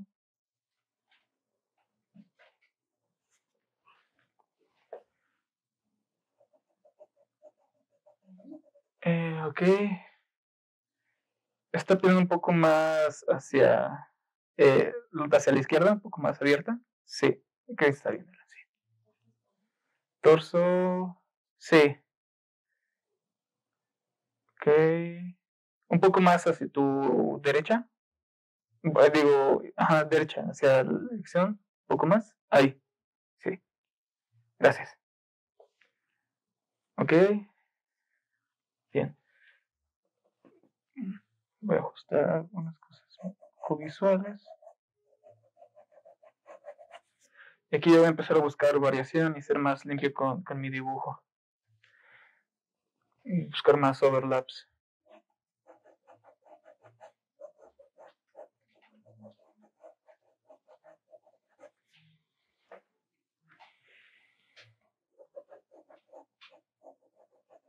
Aquí va a existir un pequeño overlap por parte del por parte del recto femoral y del vasto, lateral. Entonces, eh, a veces no necesitamos poner una línea muy rígida, sino que podemos poner eh, cierta nota de valor para denotar que existe un overlap. Quiero ser más, más limpio.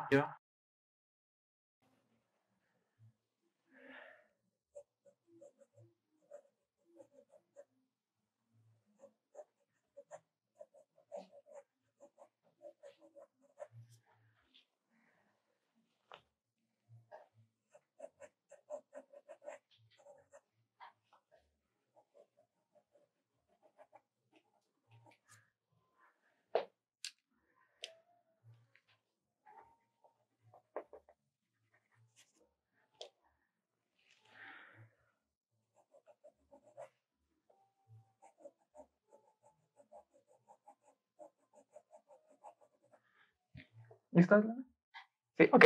Bueno, como podemos ver, eh, ya estoy buscando más variaciones y el dibujo ya va adquiriendo más carácter.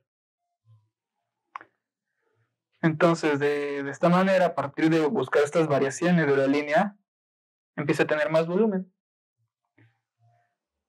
Bien, entonces, te los quiero ajustar un poco esta forma.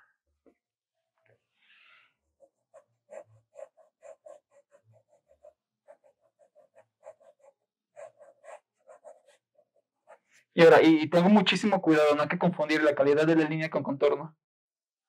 Es un error muy común. Entonces, la, como había mencionado, la calidad de la línea va a ser esa variación. un contorno va a partir de una misma línea o una intensidad de, de, de ancho y de saturación en la línea. Algo así, esto sería, volvemos al ejemplo de esto. De esta manera. Esto ya es un contorno totalmente a esta variación. No hay que confundir esa parte con, de la calidad de la línea con el contorno. Ok, ya también en este punto voy a buscar sombras, tanto proyectadas como por forma, de forma. En este caso, ya se va a generar en la zona del muslo eh, se va a generar una sombra por, por proyección, que es justamente por parte de, de la luz, eh, se va a generar una forma, una sombra muy, muy marcada, muy rígida, que no es por forma, una sombra por forma sería la sombra de esta parte de la tibia y del músculo gemelo.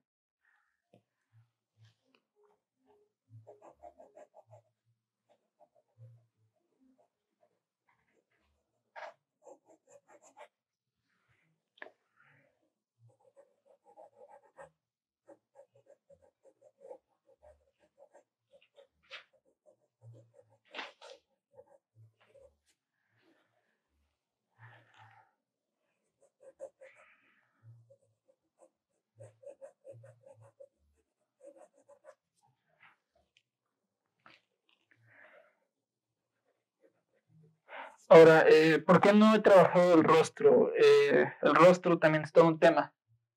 Hablo de trabajo, sí necesita al menos yo considero unas dos horas de trabajo para tener el tanto parecido.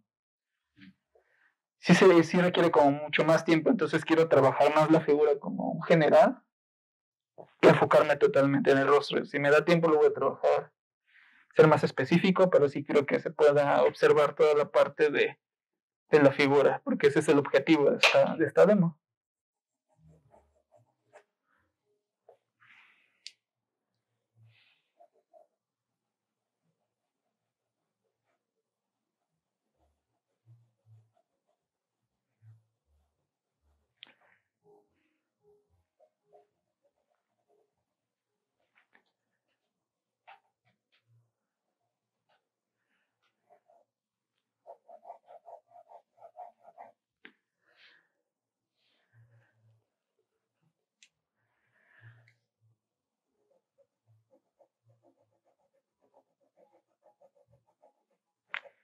En este punto, como yo estoy avanzando más en el dibujo, ya no tengo que ajustar tanto las formas, eh, puedo ya poner algunas notas de valor.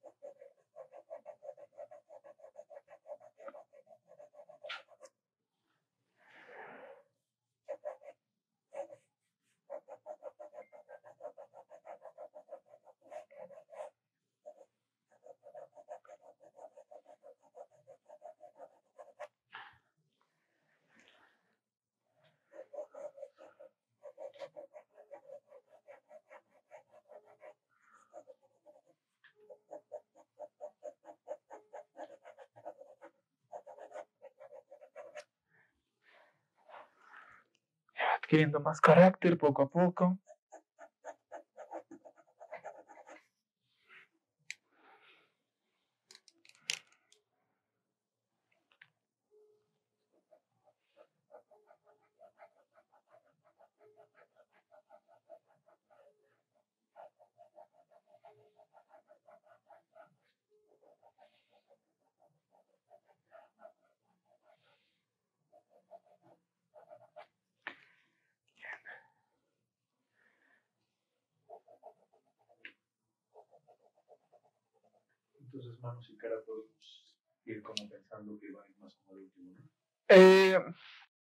En realidad, bueno, yo eh, puede, tal vez la, la cara sí necesita un tiempo más específico. Las manos sí se pueden trabajar en esta primera etapa. Yo estoy eh, haciéndolo muy rápido eh, por el tiempo, pero yo generalmente le dedico dos, dos, bueno, en poses largas, dedico dos, dos sesiones. Serían, yo trabajo cuatro horas con modelos, serían ocho horas de puro blocking, de puro encaje. Y obviamente siendo más, más específico. Sí, entonces ya, en por ejemplo, puedo adelantar todo lo que es el cuerpo y en la siguiente sesión trabajar rostro, no enfocarme totalmente para buscar parecido, entender bien la perspectiva, también tanto la anatomía. Y las manos y los pies sí se pueden trabajar desde las primeras etapas. Pero sí, como hay que, eh, conforme uno va trabajando y va adquiriendo experiencia, eh, va aprendiendo cómo distribuir su tiempo. Porque el aprender a distribuir el tiempo es muy importante.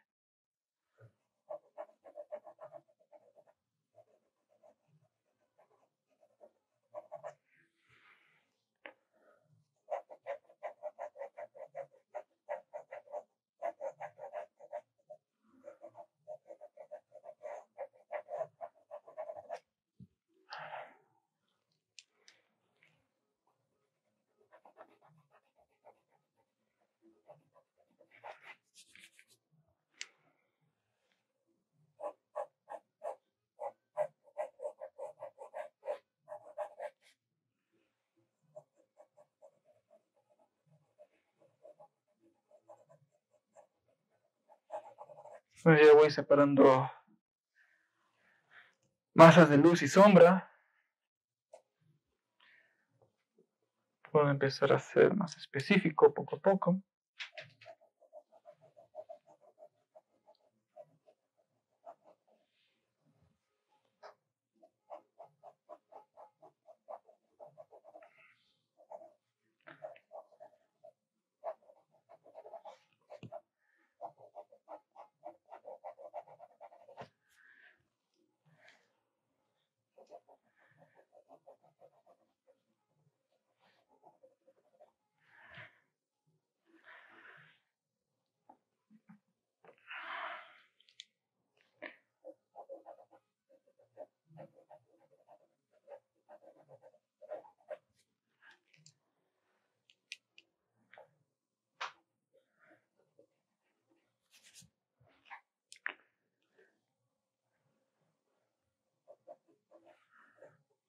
bueno, trabajo esta rodilla. Entonces también eh, conforme al, al tiempo, eh, también tenemos que practicar la simplificación de las formas. Y que nos vayan describiendo, que, sea la, que su descripción sea correcta. Entonces, por ejemplo, con esta pequeña información ya se entiende que es la, la rodilla, ¿no? Que es tibia, rótula y parte del vasto lateral, del, del vasto lateral.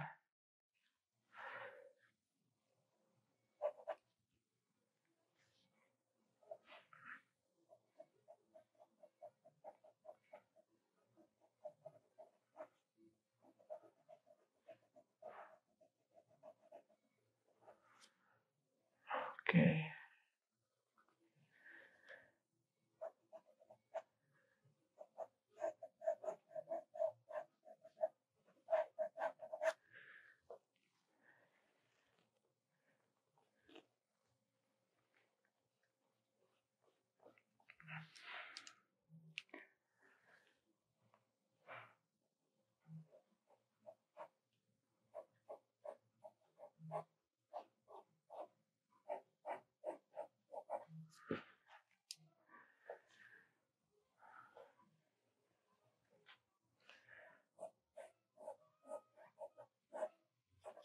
Ya que esta pierna está recibiendo luz,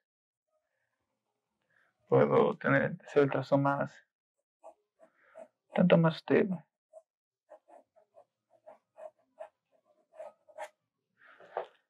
más delgado y cómo va todo fluyendo, ¿no? Y eso es gracias a que justamente esa parte de la de la de las primeras etapas son, son correctas, son sólidas. Asegurarnos.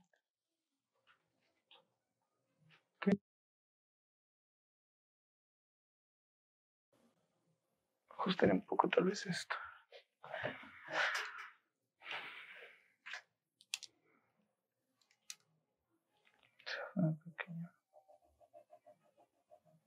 Aunque como ya había mencionado un poco, vamos a clasificar las sombras en dos tipos.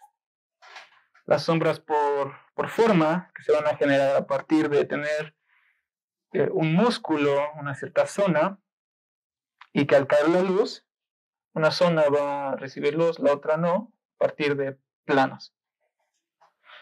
Ahora, en las sombras por proyección, al estar un objeto adelante de otro, va a hacer que esto impida el paso de la luz. Eh, las sombras por forma, eh, en la sombra va a existir una parte que se llama core shadow o núcleo de la sombra, que es la parte más oscura de la forma de lo que estamos trabajando.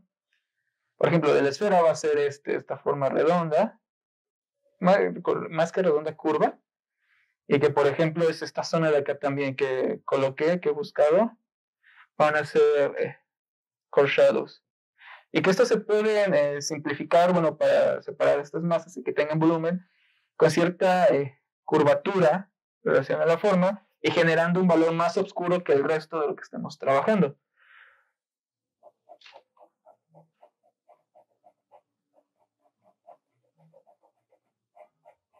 A mí me gusta utilizar línea para generarlos. y eso ya viene a criterio de cada uno.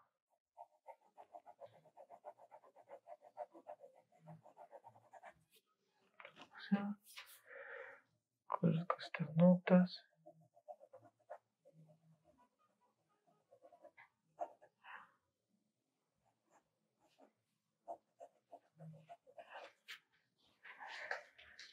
Ok, acá se va a generar sombra, parte de la cresta ilíaca.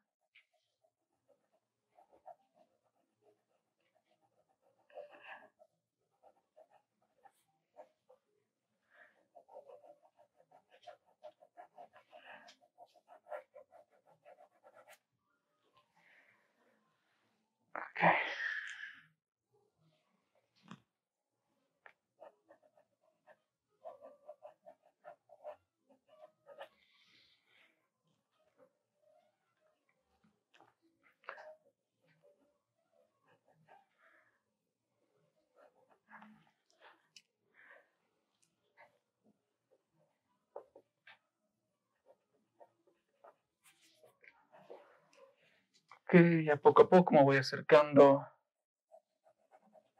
Más bien ya estoy trabajando la zona de, del torso. Pero ya puedo ver ¿no? las unidas que tienen las piernas. Bastante volumen.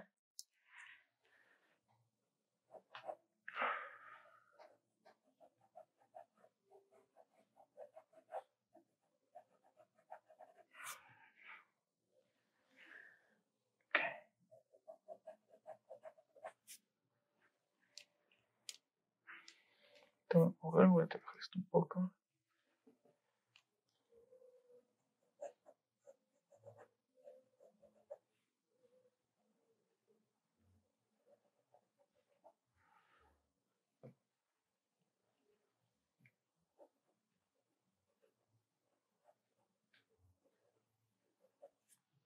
Anotar. Ahora también, eh, un error muy común al trabajar los, pechos es, es hacerlo o puntiagudos o colocarlos muy planos y que no se siente el peso. Siempre que dibujamos, que, que dibujemos con el modelo, existe la gravedad. ¿Y eso qué significa? Que las cosas van a tener un peso, se van a sentir que caen. Entonces, eh, desde las primeras etapas, ya hay que intentar que tener esa búsqueda, esa, eh, ese peso de las, de las masas.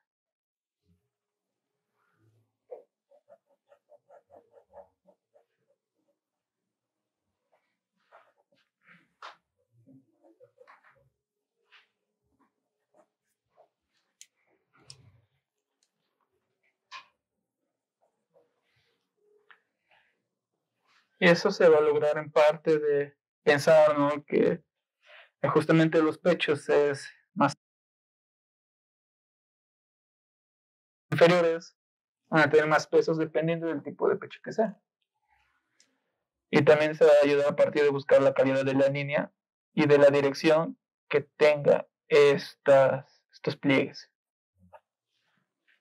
Que dice, ya está muy ancho, me gustaría tenerlo más delgado.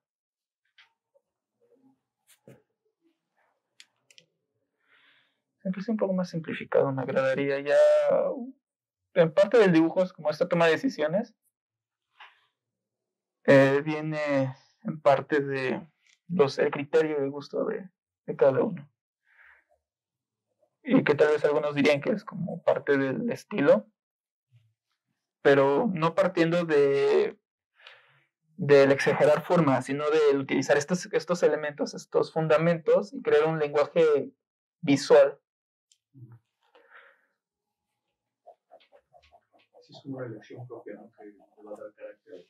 Exactamente, sí, así es.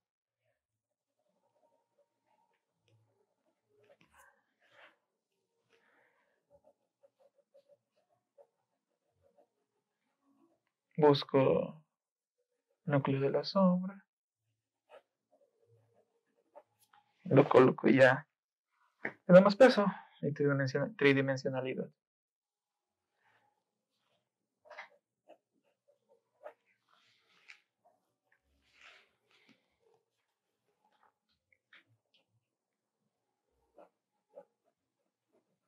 Ahora, en este punto, ¿por qué ya estoy utilizando el lápiz en la manera en que escribimos? De esta manera se, se, se le conoce, se le, llama, se le llama agarrar el lápiz de manera trípode. Es tres dedos, dorso de la mano y así escribimos. ¿Por qué? Porque ya me interesa ser más específico con ciertas zonas y controlar más la presión que ejerzo sobre el lápiz.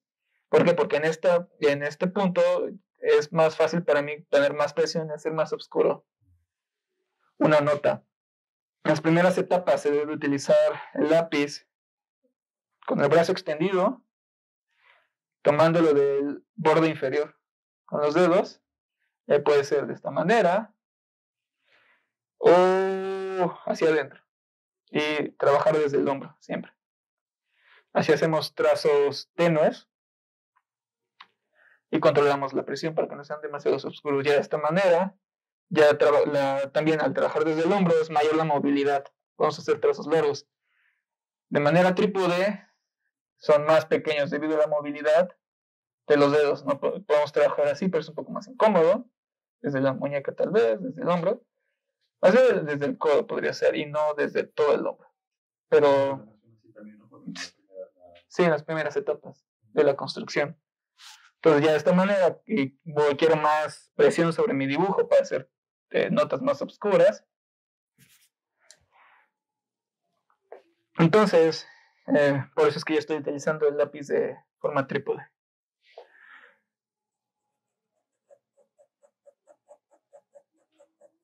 Colocando algunas notas de valor.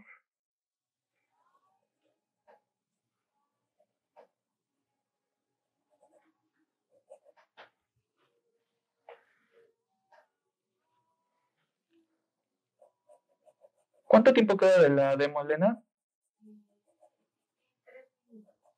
Ah, no, del bloque no. Todavía no. Ah, perfecto. Entonces sí. Ok, perfecto.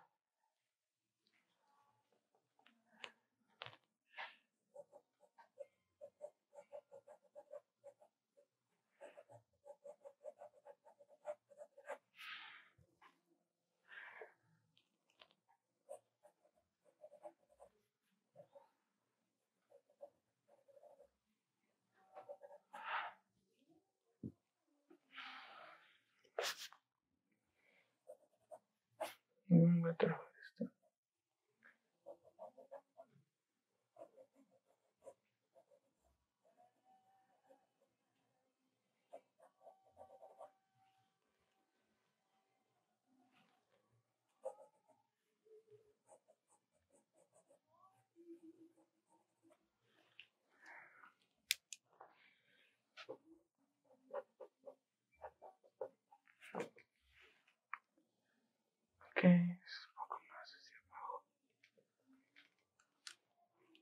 Sigo siendo muy...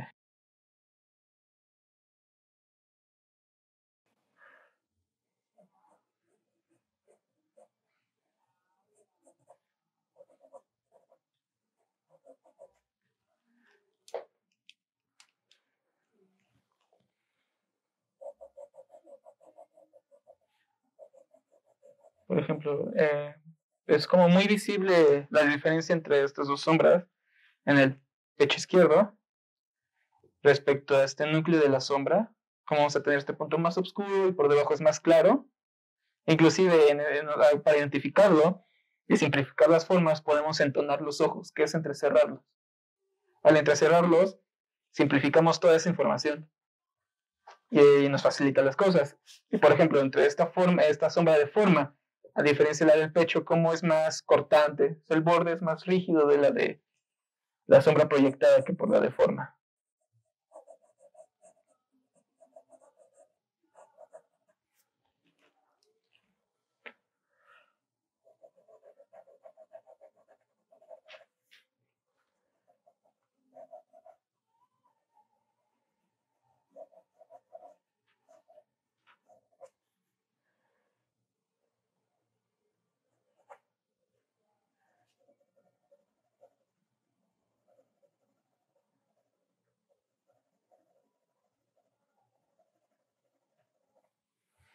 Luego una pequeña nota de lo que sería la aureola del pezón.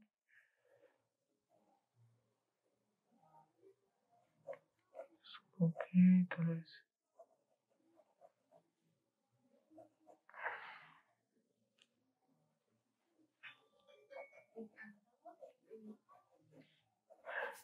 Esta forma. Serían dos bloques, ¿no, Elena? De 20, ok.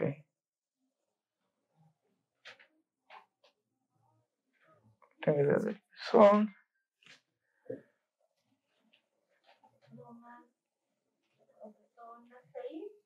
Uh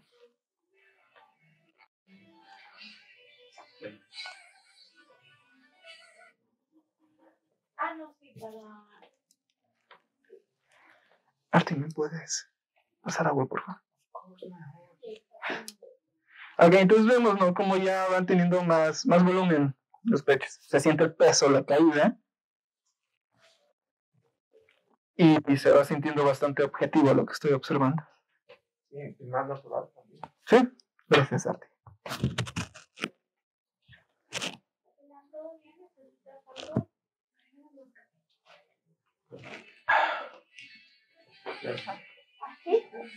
Eso baja la temperatura. Bueno. ¿Te ponemos Sí, ¿Necesitas calentador? Es que nada más en el pie, porque es donde, donde se enfría. Empieza a enfriar. Entonces, a partir de este punto, tal vez quiero poner algunas notas más oscuras de mis core.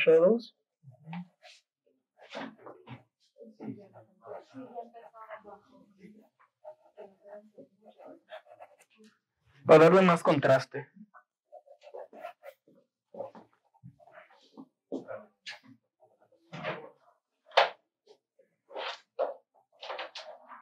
Este, cualquier hora en la mañana.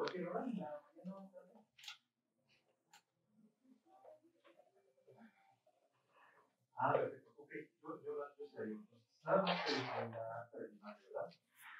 perfecto.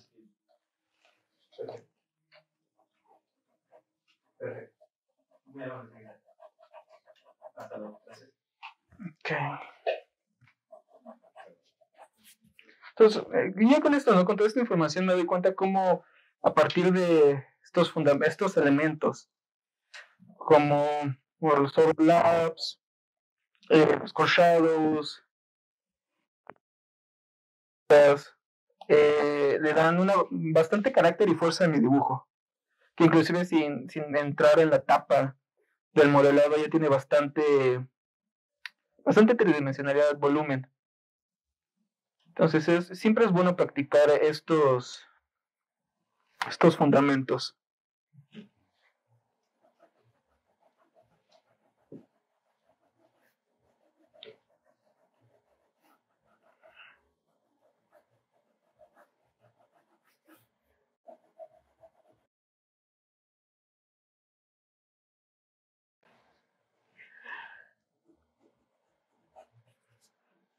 Mm, ok.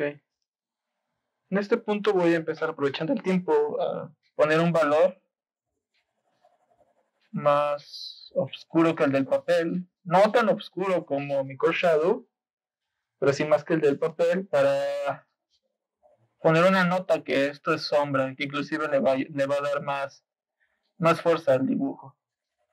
A esto se le llama aplanar la sombra, que es darle un valor igual, total, a la sombra.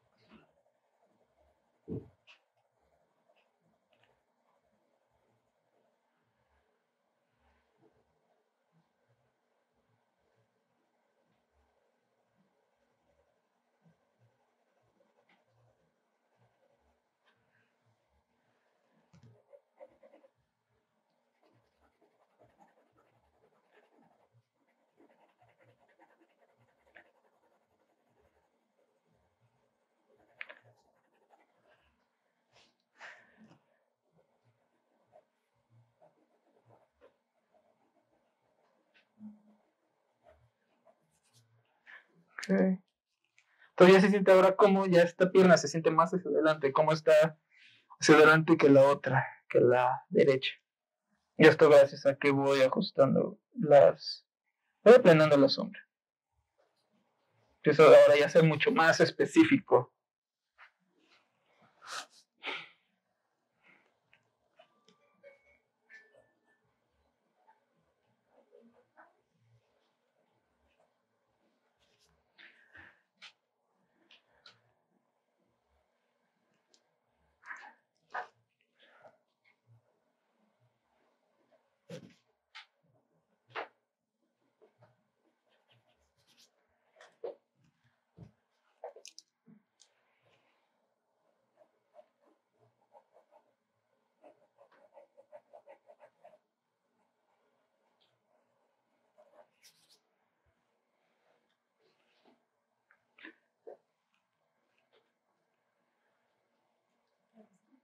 Sí.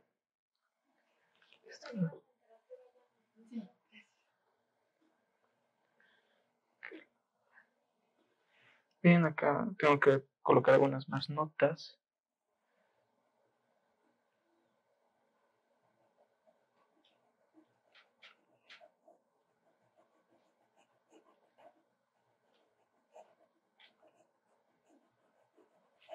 Ahora vamos a tener ciertas zonas que se llaman zonas de penumbra. Un ejemplo es esta zona de acá, esta sombra más oscura, después viene esta sombra, pero debido a, la fuente de luz y a otras luces que tenemos, eh, se, se, pierde. Si nosotros apagáramos las demás luces y solo tuviésemos una fuente de luz, que es la del modelo, sería más, más fácil identificarla. Pero esta zona sí, bueno, ya en el modelado va a ser mucho más tenue, más con transiciones más sutiles. Pero es bueno que sepan que esta zona de acá donde tenemos una sombra que parte de toda esta forma de acá.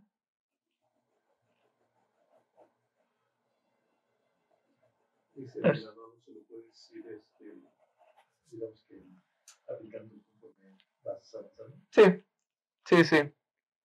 Sí, digo, acá, por ejemplo, si yo pienso de esta forma como una en estructura como una simplificación y conceptualización, es entender esto de acá como un cilindro.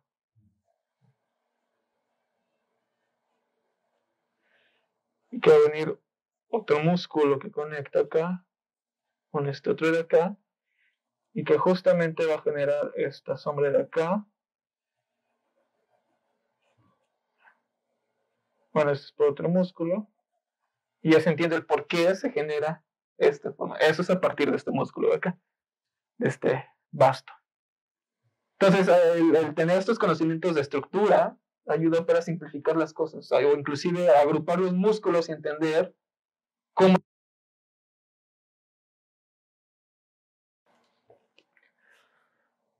Eh,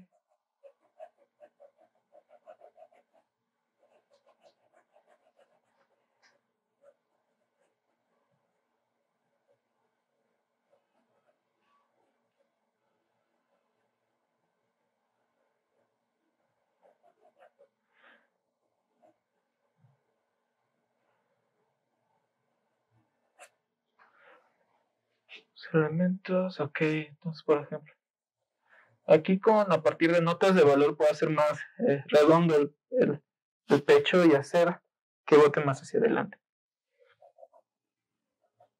Voy a poner unas notas de, de valor.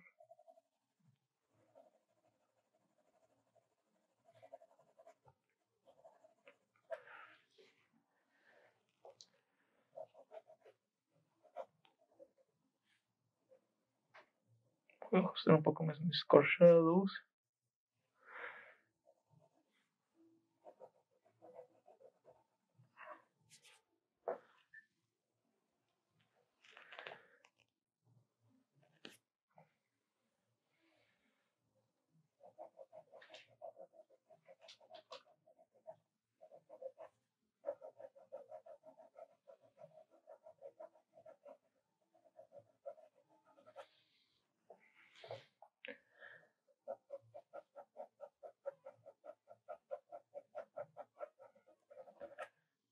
Entonces se siente mucho más redondo el pecho a partir de colocar unas notas, unos medios tonos, notas de valor.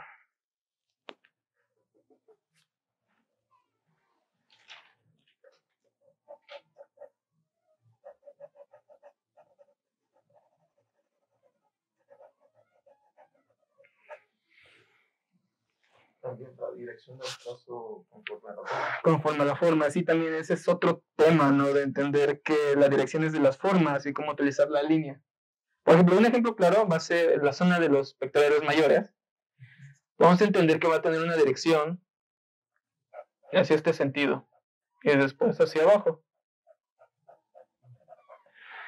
Y la a diferencia del pecho va a ser más redondo, por ejemplo, en este caso, de esta manera.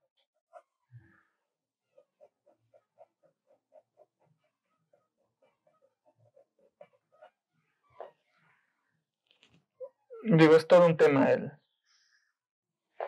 el cross-hatching.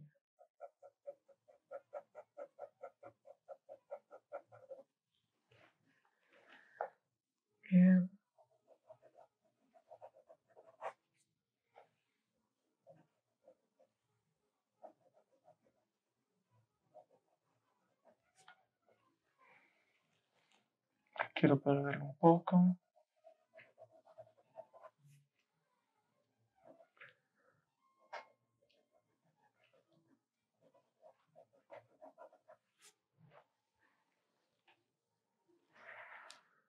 Okay.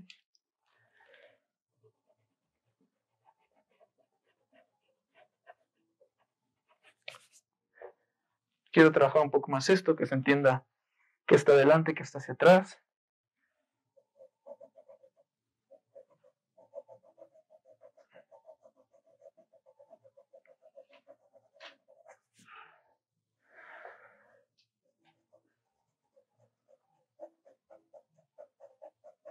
O sea, ¿cómo, ¿cómo, con poca información puedo empezar a describir mucho? ¿No? Eso es a partir de observación, poner mucha atención de lo que estoy observando.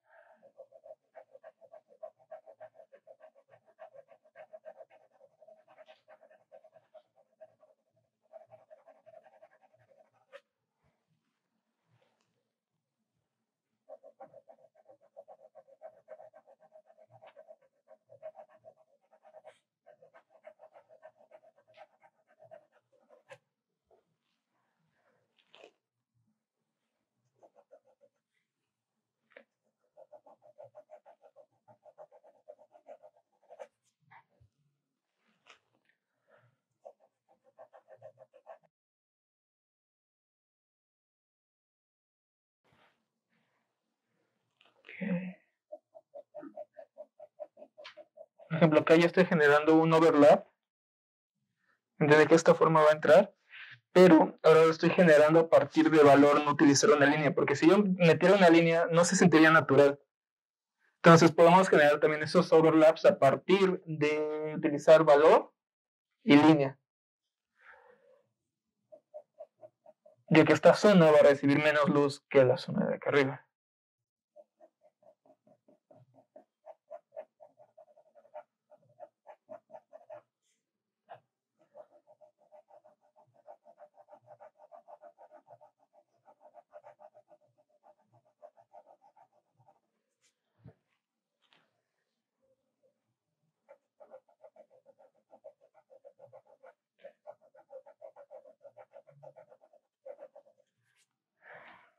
Se siente las formas.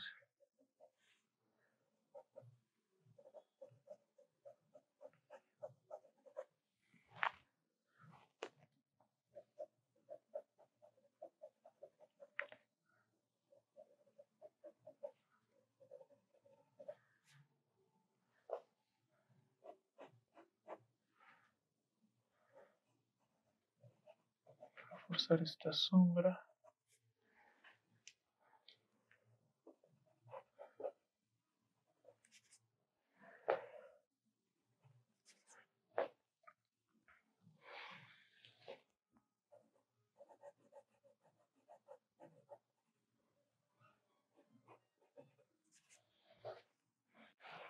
entonces ya como, conforme voy siendo más específico, agregando más información, ya va obteniendo mucho más carácter el dibujo.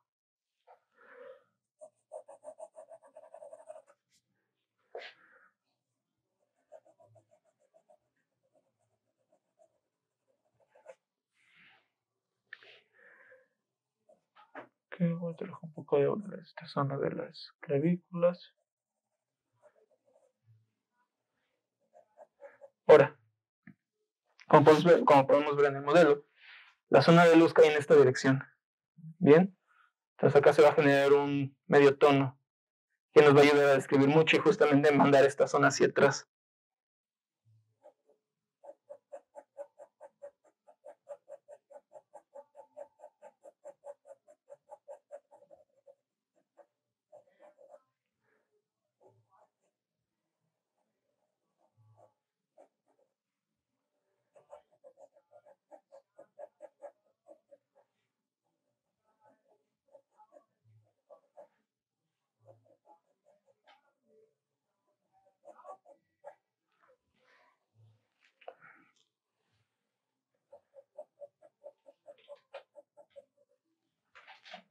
El pecho.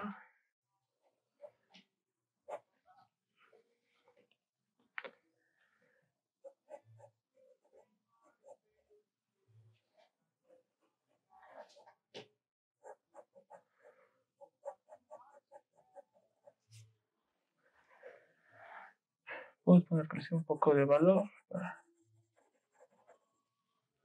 no te que eso va hacia atrás.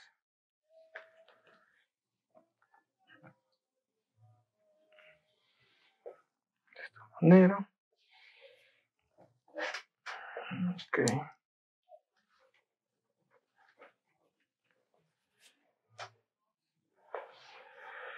Trabajo de esta zona.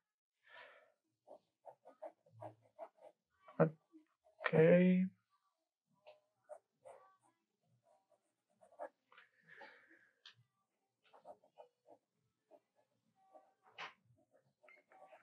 de estas formas entonces tiene como una forma un tanto redonda justamente por lo que ves del número.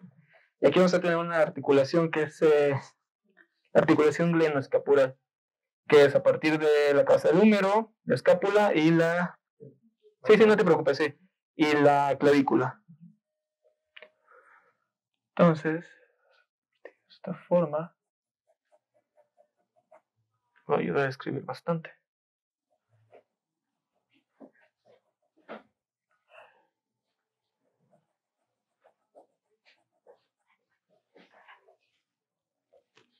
Bien.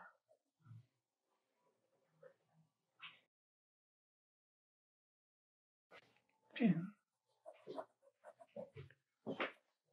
Hacer esto un poco más tenue.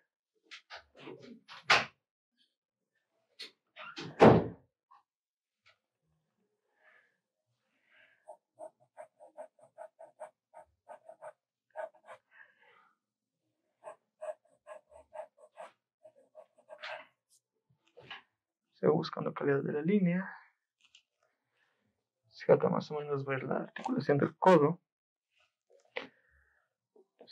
Con este, ok. Y sigo buscando relaciones, ¿no? Para seguir estructurando esto de más o menos dónde quedaría.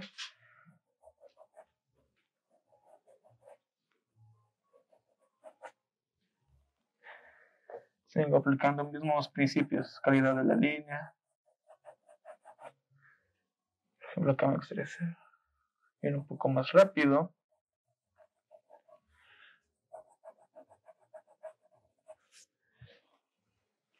Ir colocando cierta información.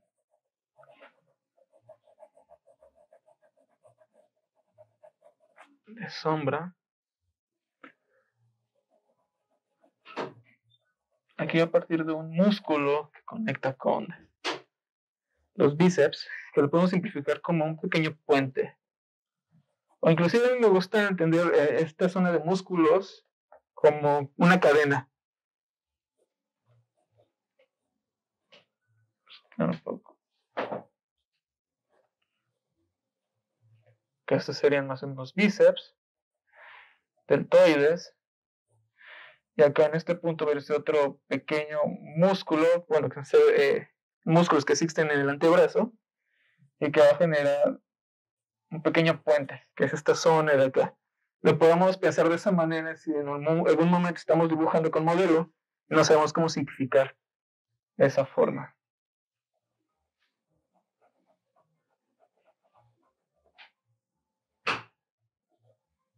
Vamos a tener una sombra por proyección.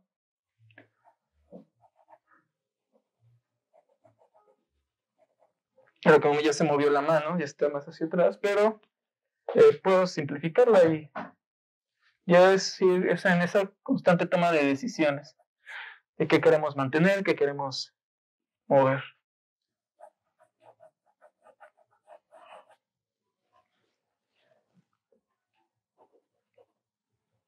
Acá me ayudaría para que no se describa como una forma extraña de en esta zona.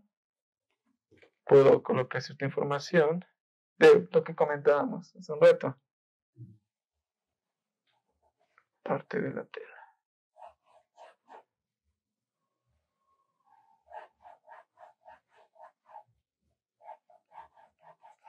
Y ya se entiende que justamente a mano todo vamos a darle una forma de valor. Pues me hacer esto un poco más ancho.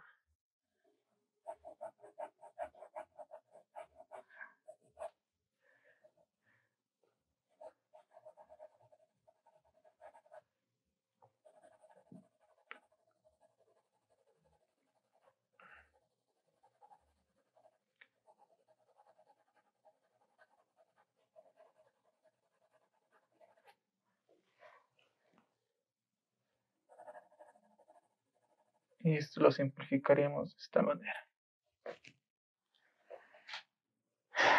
Entonces todo ya va teniendo más tridimensionalidad, ya se siente que ya tiene más carácter, qué forma está adelante, qué otra está atrás, y se siente justamente el peso de las formas.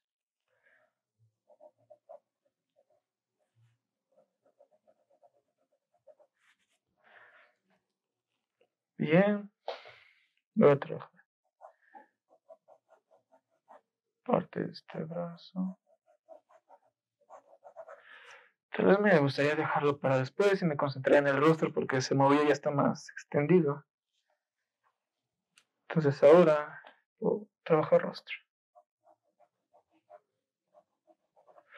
Un error muy común a la hora de hacer el rostro con parte del cuello es que se tiende a hacer el cuello recto, cuando no es así. Vamos a entender y simplificar el cuello como un cilindro. De esta manera, que no va a ser un cilindro recto, sino que va a tener un sentido hacia adelante, una dirección. Y que posteriormente en este cilindro vamos a tener escápulas, fosa clavicular, y aquí vamos a conectar justamente estos músculos de los que que son el esternocleidomastoideo mastoideo. Que van a estar abrazando este, este cilindro.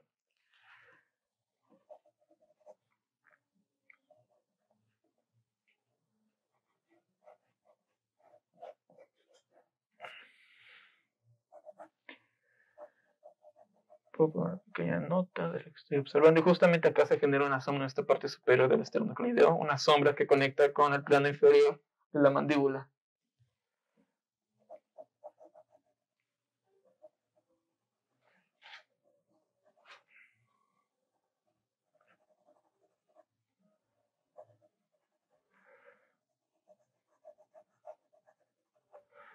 Entonces lo sigue manteniendo simplificado, va teniendo bastante coherencia. Y lo veo justamente como formas abstractas. No pienso que puede ser un cuello. Estoy viendo la información dentro de, en subformas, ¿no? Por ejemplo, hablando, abordando ese tema de las subformas,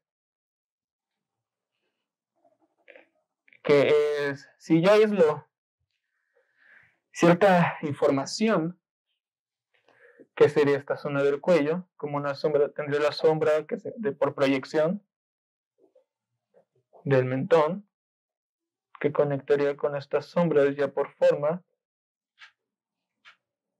justo del esternocleidomastoideo, en el plano de la mandíbula.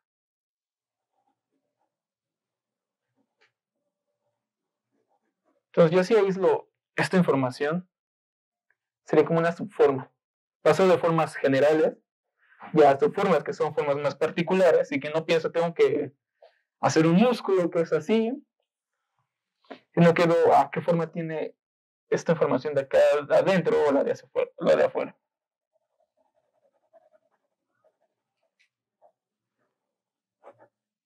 Entonces, posteriormente puedo ser más específico.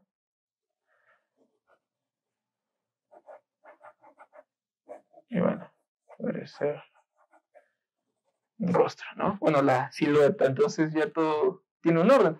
Podemos pensarlo de esta manera también. Otro ejemplo muy fácil es pensar que esto es como un rompecabezas. Vamos a tener dos piezas y que van a embonar. Entonces, a partir de estas dos formas, de una forma de luz y una de sombra, podemos simplificarnos la, la tarea de trabajar la figura humana.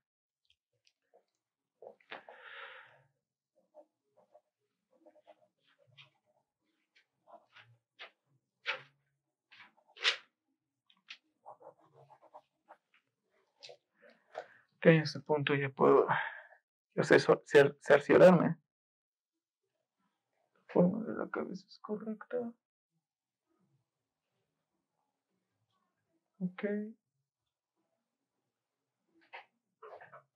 Justo eh, tengo que trabajar un poco más también esta zona. Me gustaría, me gustaría ya, por como está trabajando ya todo esto, me gustaría poner igual el nivel de forma, de modelado no de modelado, sino de, de encaje. Pero toda esta etapa, a pesar de que tengo separadas masas, las dos grandes masas de luz, sombra, eso sigue siendo un encaje. Obviamente mucho más particular, pero en inicio.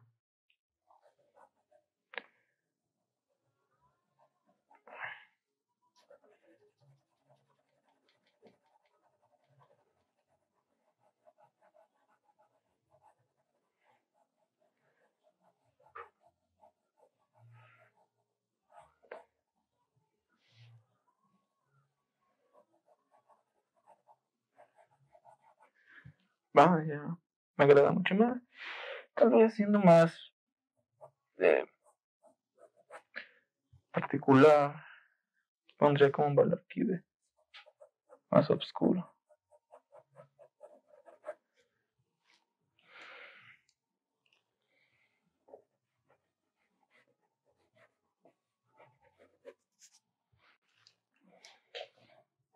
Bien, entonces vamos a trabajar un poco el rostro.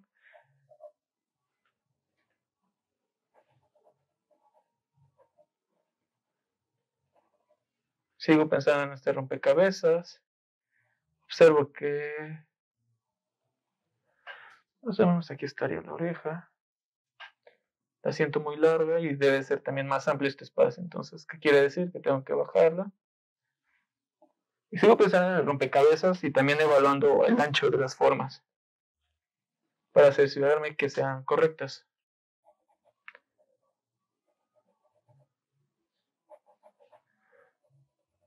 Sea, ya desde estas primeras etapas se debe de ir sintiendo el parecido, porque estamos buscando justamente la silueta. Entonces ya desde la silueta tiene que parecerse.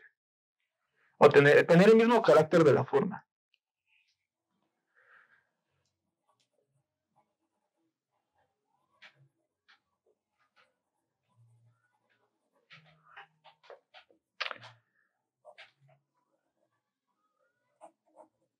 Por ejemplo, puedo buscar la relación de donde inicia el fleco con esta zona del cuello. Y sigo buscando relaciones.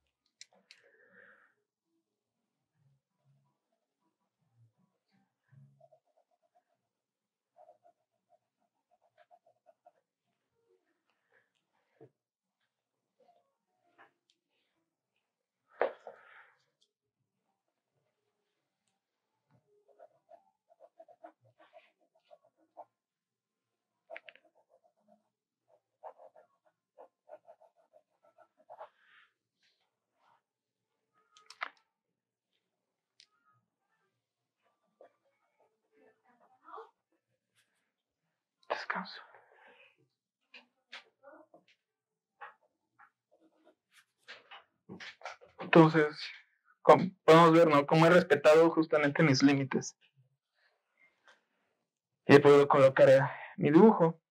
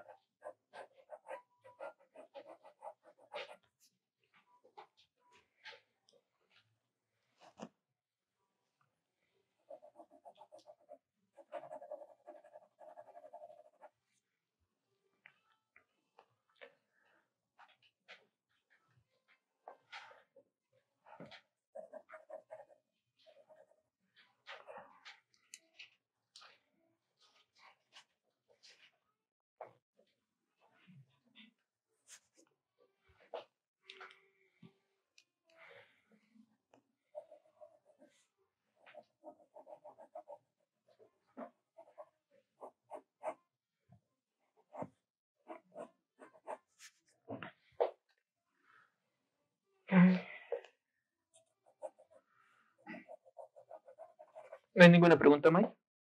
No. ¿No? Ok. Pues podemos ver, ¿no? La diferencia de estos primeros trazos, ya un dibujo más avanzado. perfectamente pues, las zonas este, anatómicas más importantes. Sí.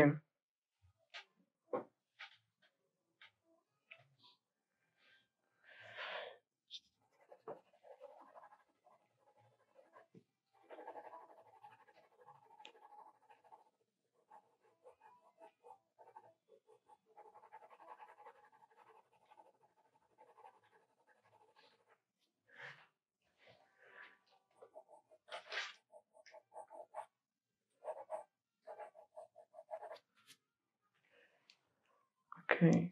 No.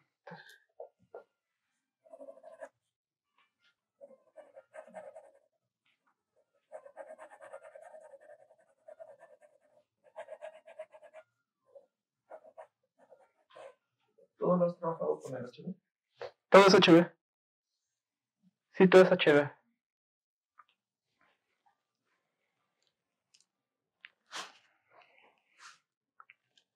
Sí, digo, a veces también hay que entender que a veces eh, poco es, es más, ¿no? Con, con pocas cosas podemos lograr más, más resultados. A tener como una gama amplia de, lápices, realmente se necesita solo un lápiz para poder lograr un dibujo muy, muy bueno, muy pulido. No necesitamos tener los, los nueve, nueve escalas de, lápices o los 18, 17 lápices, ¿no? únicamente con un lápiz, una goma, tal vez una aguja para justamente buscar ángulos. es todo lo que necesitamos.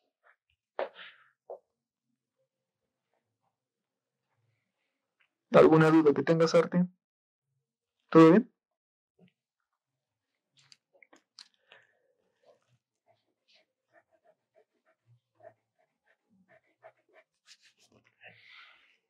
Okay.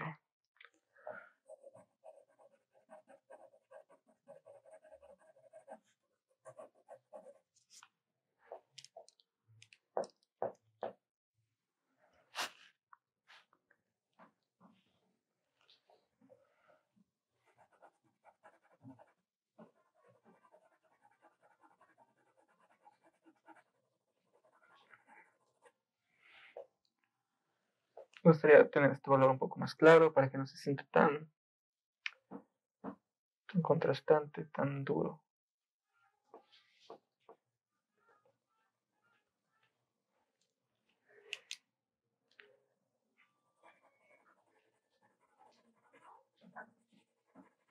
Es el último bloque, ¿va? Perfecto.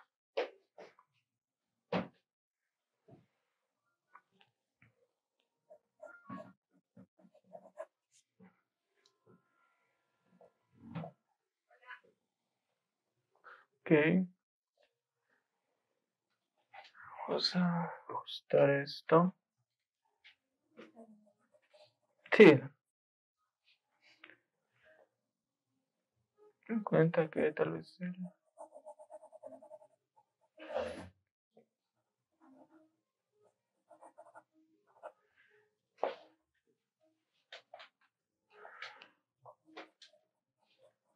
Ya voy a ser un poco más, ya voy a ser más específico.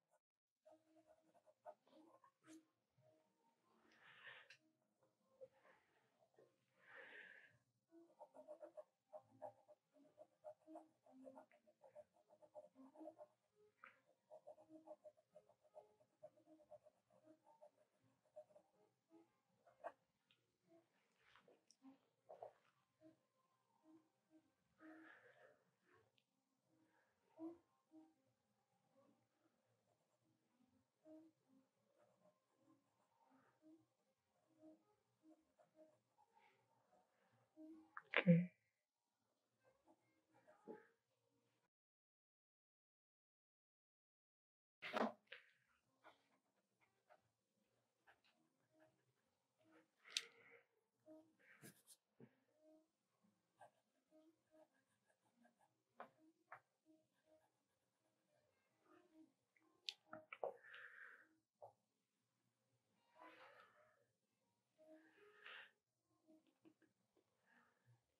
Quiero corroborar que el plano inferior de la mandíbula sea correcto respecto al ángulo.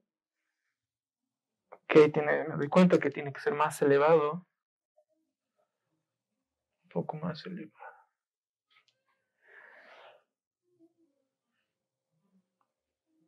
Ok.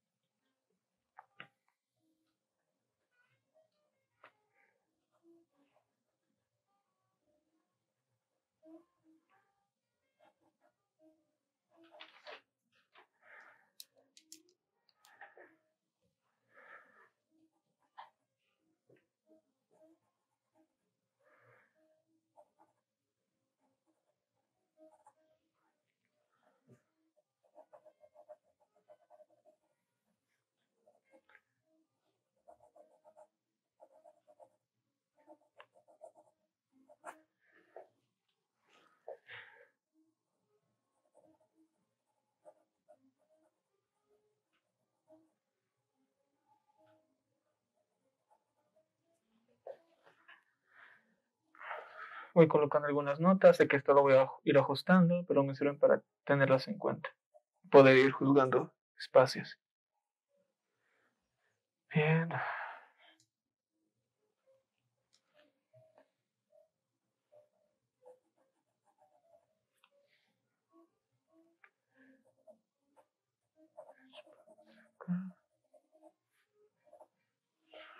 Lejos. Valu, okay.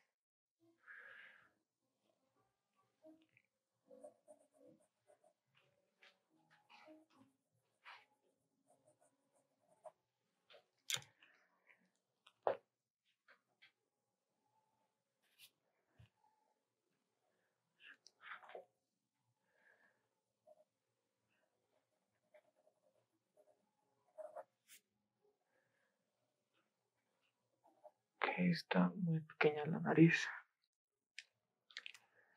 Tiene que ser más larga.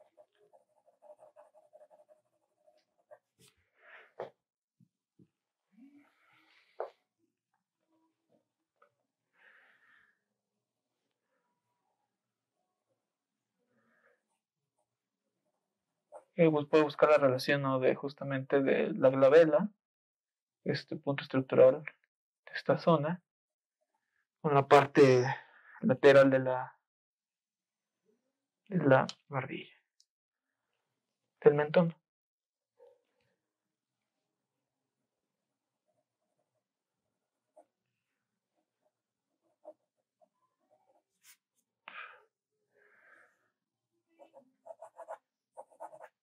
Cerca un valor oscuro.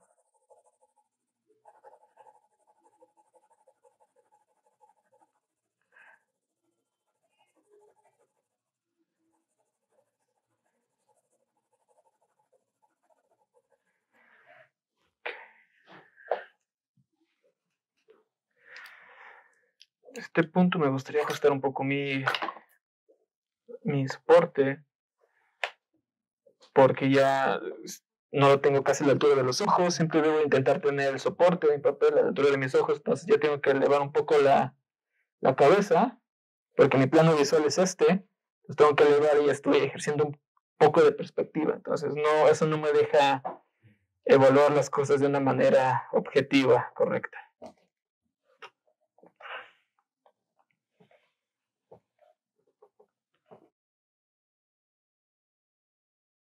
¿La cámara? ¿Todo bien? Perfecto.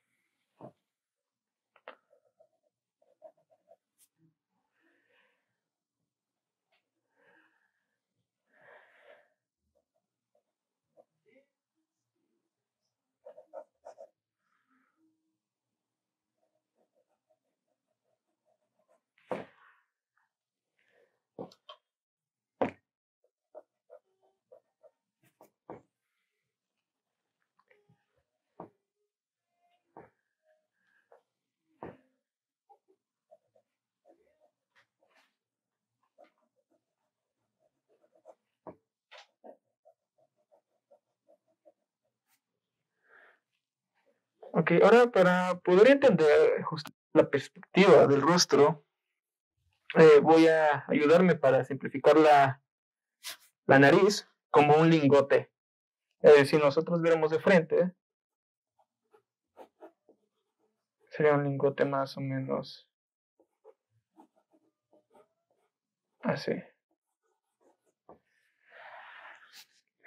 Ahora, eh, como yo lo estoy viendo de tres cuartos y desde abajo puedo simplificar la nariz de esta manera.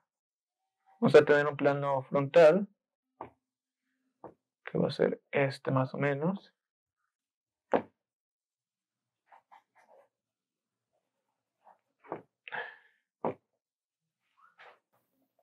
Tal vez no me convence el tamaño de la nariz. Ahora bien, como estamos viendo el modelo desde abajo, ¿qué sucede? Eh, en un esquema muy simple de, la cabeza lo voy a hacer acá.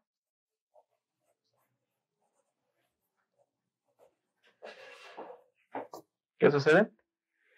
Que acá es donde ya van a tener cierta importancia, eh, bueno, en realidad en todo, pero más la dirección de las líneas.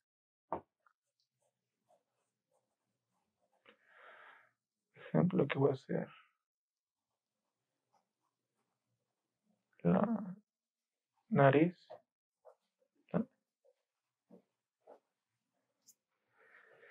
Entonces, como estoy viendo el modelo desde abajo, esta zona va a ser más pequeña y se va a sentir más larga la zona del mentón, de la mandíbula. ¿Por qué? Porque lo que tenemos más cerca visualmente es esta zona, después sigue esta y tal vez puede existir como un pequeño sesgo de información en esta otra zona.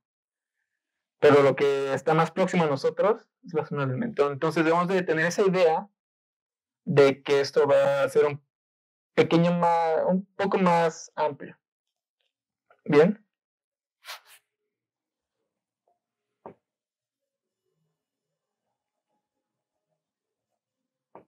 Entonces puedo subir el ojo.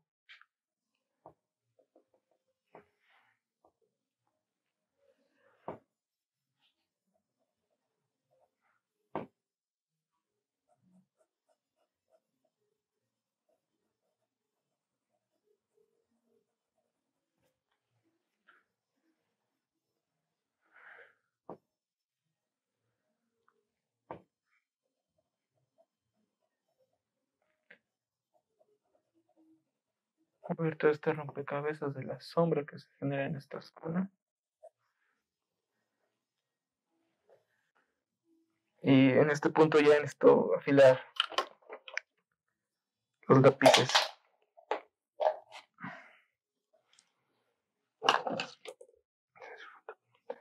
Porque ya como hacer una zona más pequeña, ya requiere de más precisión. Al tener, hacer dibujos más pequeños requieren más precisión porque se puede observar con mayor facilidad el error.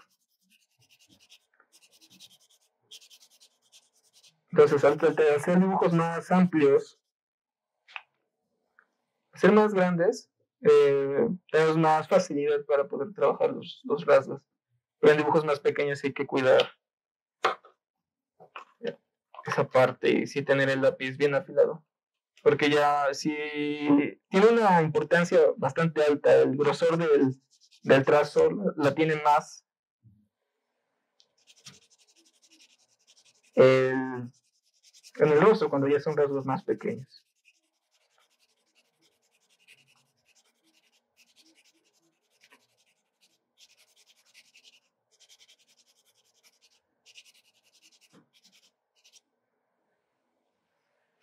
Bien. Entonces,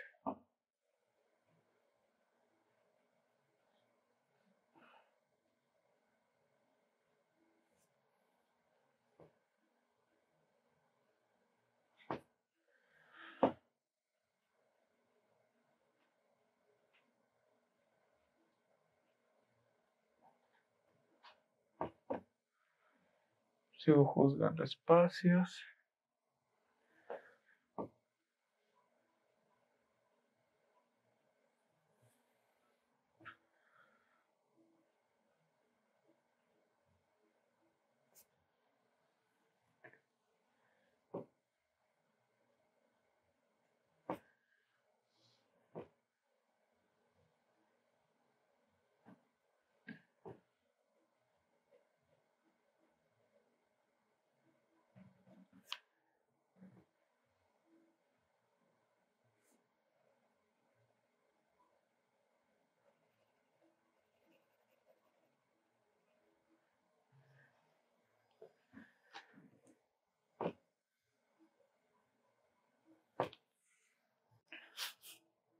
Correlaciones.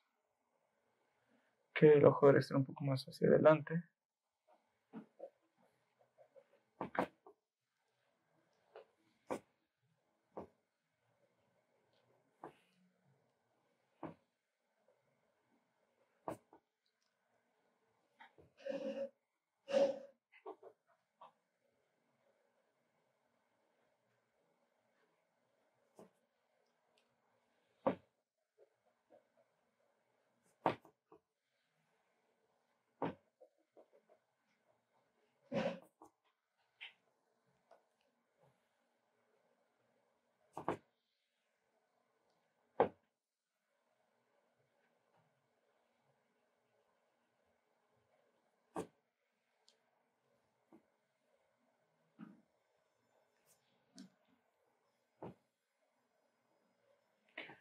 Busco la relación de la nariz con un punto del, del cuerpo para asegurarme que tal vez se, va a ajustar, tal- para saber si largo está correcto.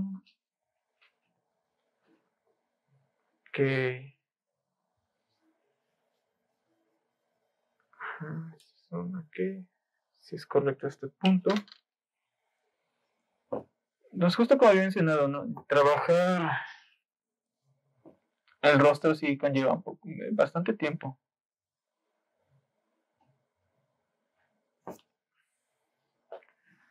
Por eso recomiendo que si trabajen, si trabajan con modelo, dependiendo del, tiempo que tengan para trabajar, eh, enfocarse en un solo, eh, una sola sesión a trabajar todo el, el cuerpo y enfocarse en así.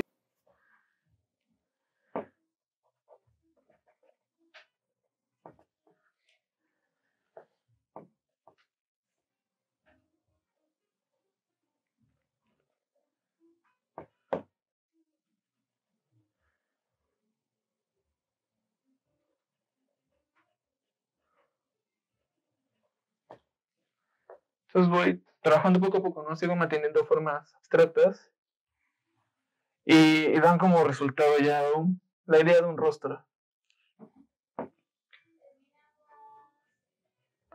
Concluimos, Elan.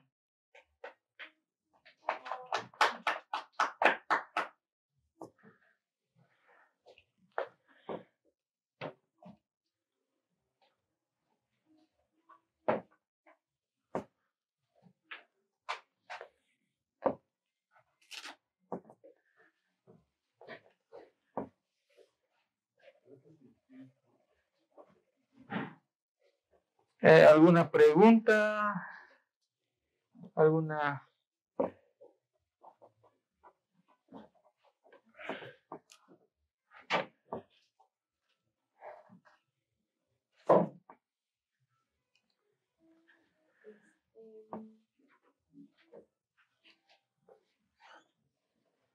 No, todo estuvo súper bien explicado. Muchas gracias. Ah, ¿de qué?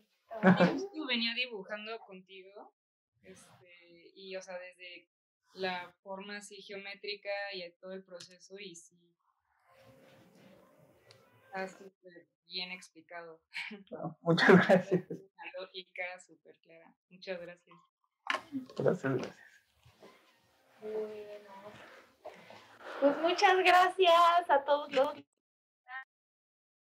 nosotros, qué padre, Regina, que andabas dibujando también, a ver si luego justo Comparten. nos comparten sus dibujos. Y pues también muchas gracias a las personas que están aquí. Y pues nada, recuerden que Joshua es profesor del programa académico. Usted tiene sus clases los lunes de 5 a 8, igual por si quieren este, pues, aprender todo lo que es dibujo académico, sobre todo a dibujo 1, que tiene que ver más con, fundamentos, y sí. escayolas, y son fundamentos de dibujo. Sí, ju- perdón. no, justamente no lo que aplicamos, lo que apliqué, pero visto desde láminas y con escayolas, ¿no? Primer trimestre, segundo con escayolas. Y que es básicamente lo que utilicé, es lo que enseña esos principios, practicarlos y que después conlleva dibujo 2, que es ya dibujo de figura, que es estar abriendo aquí en mesones.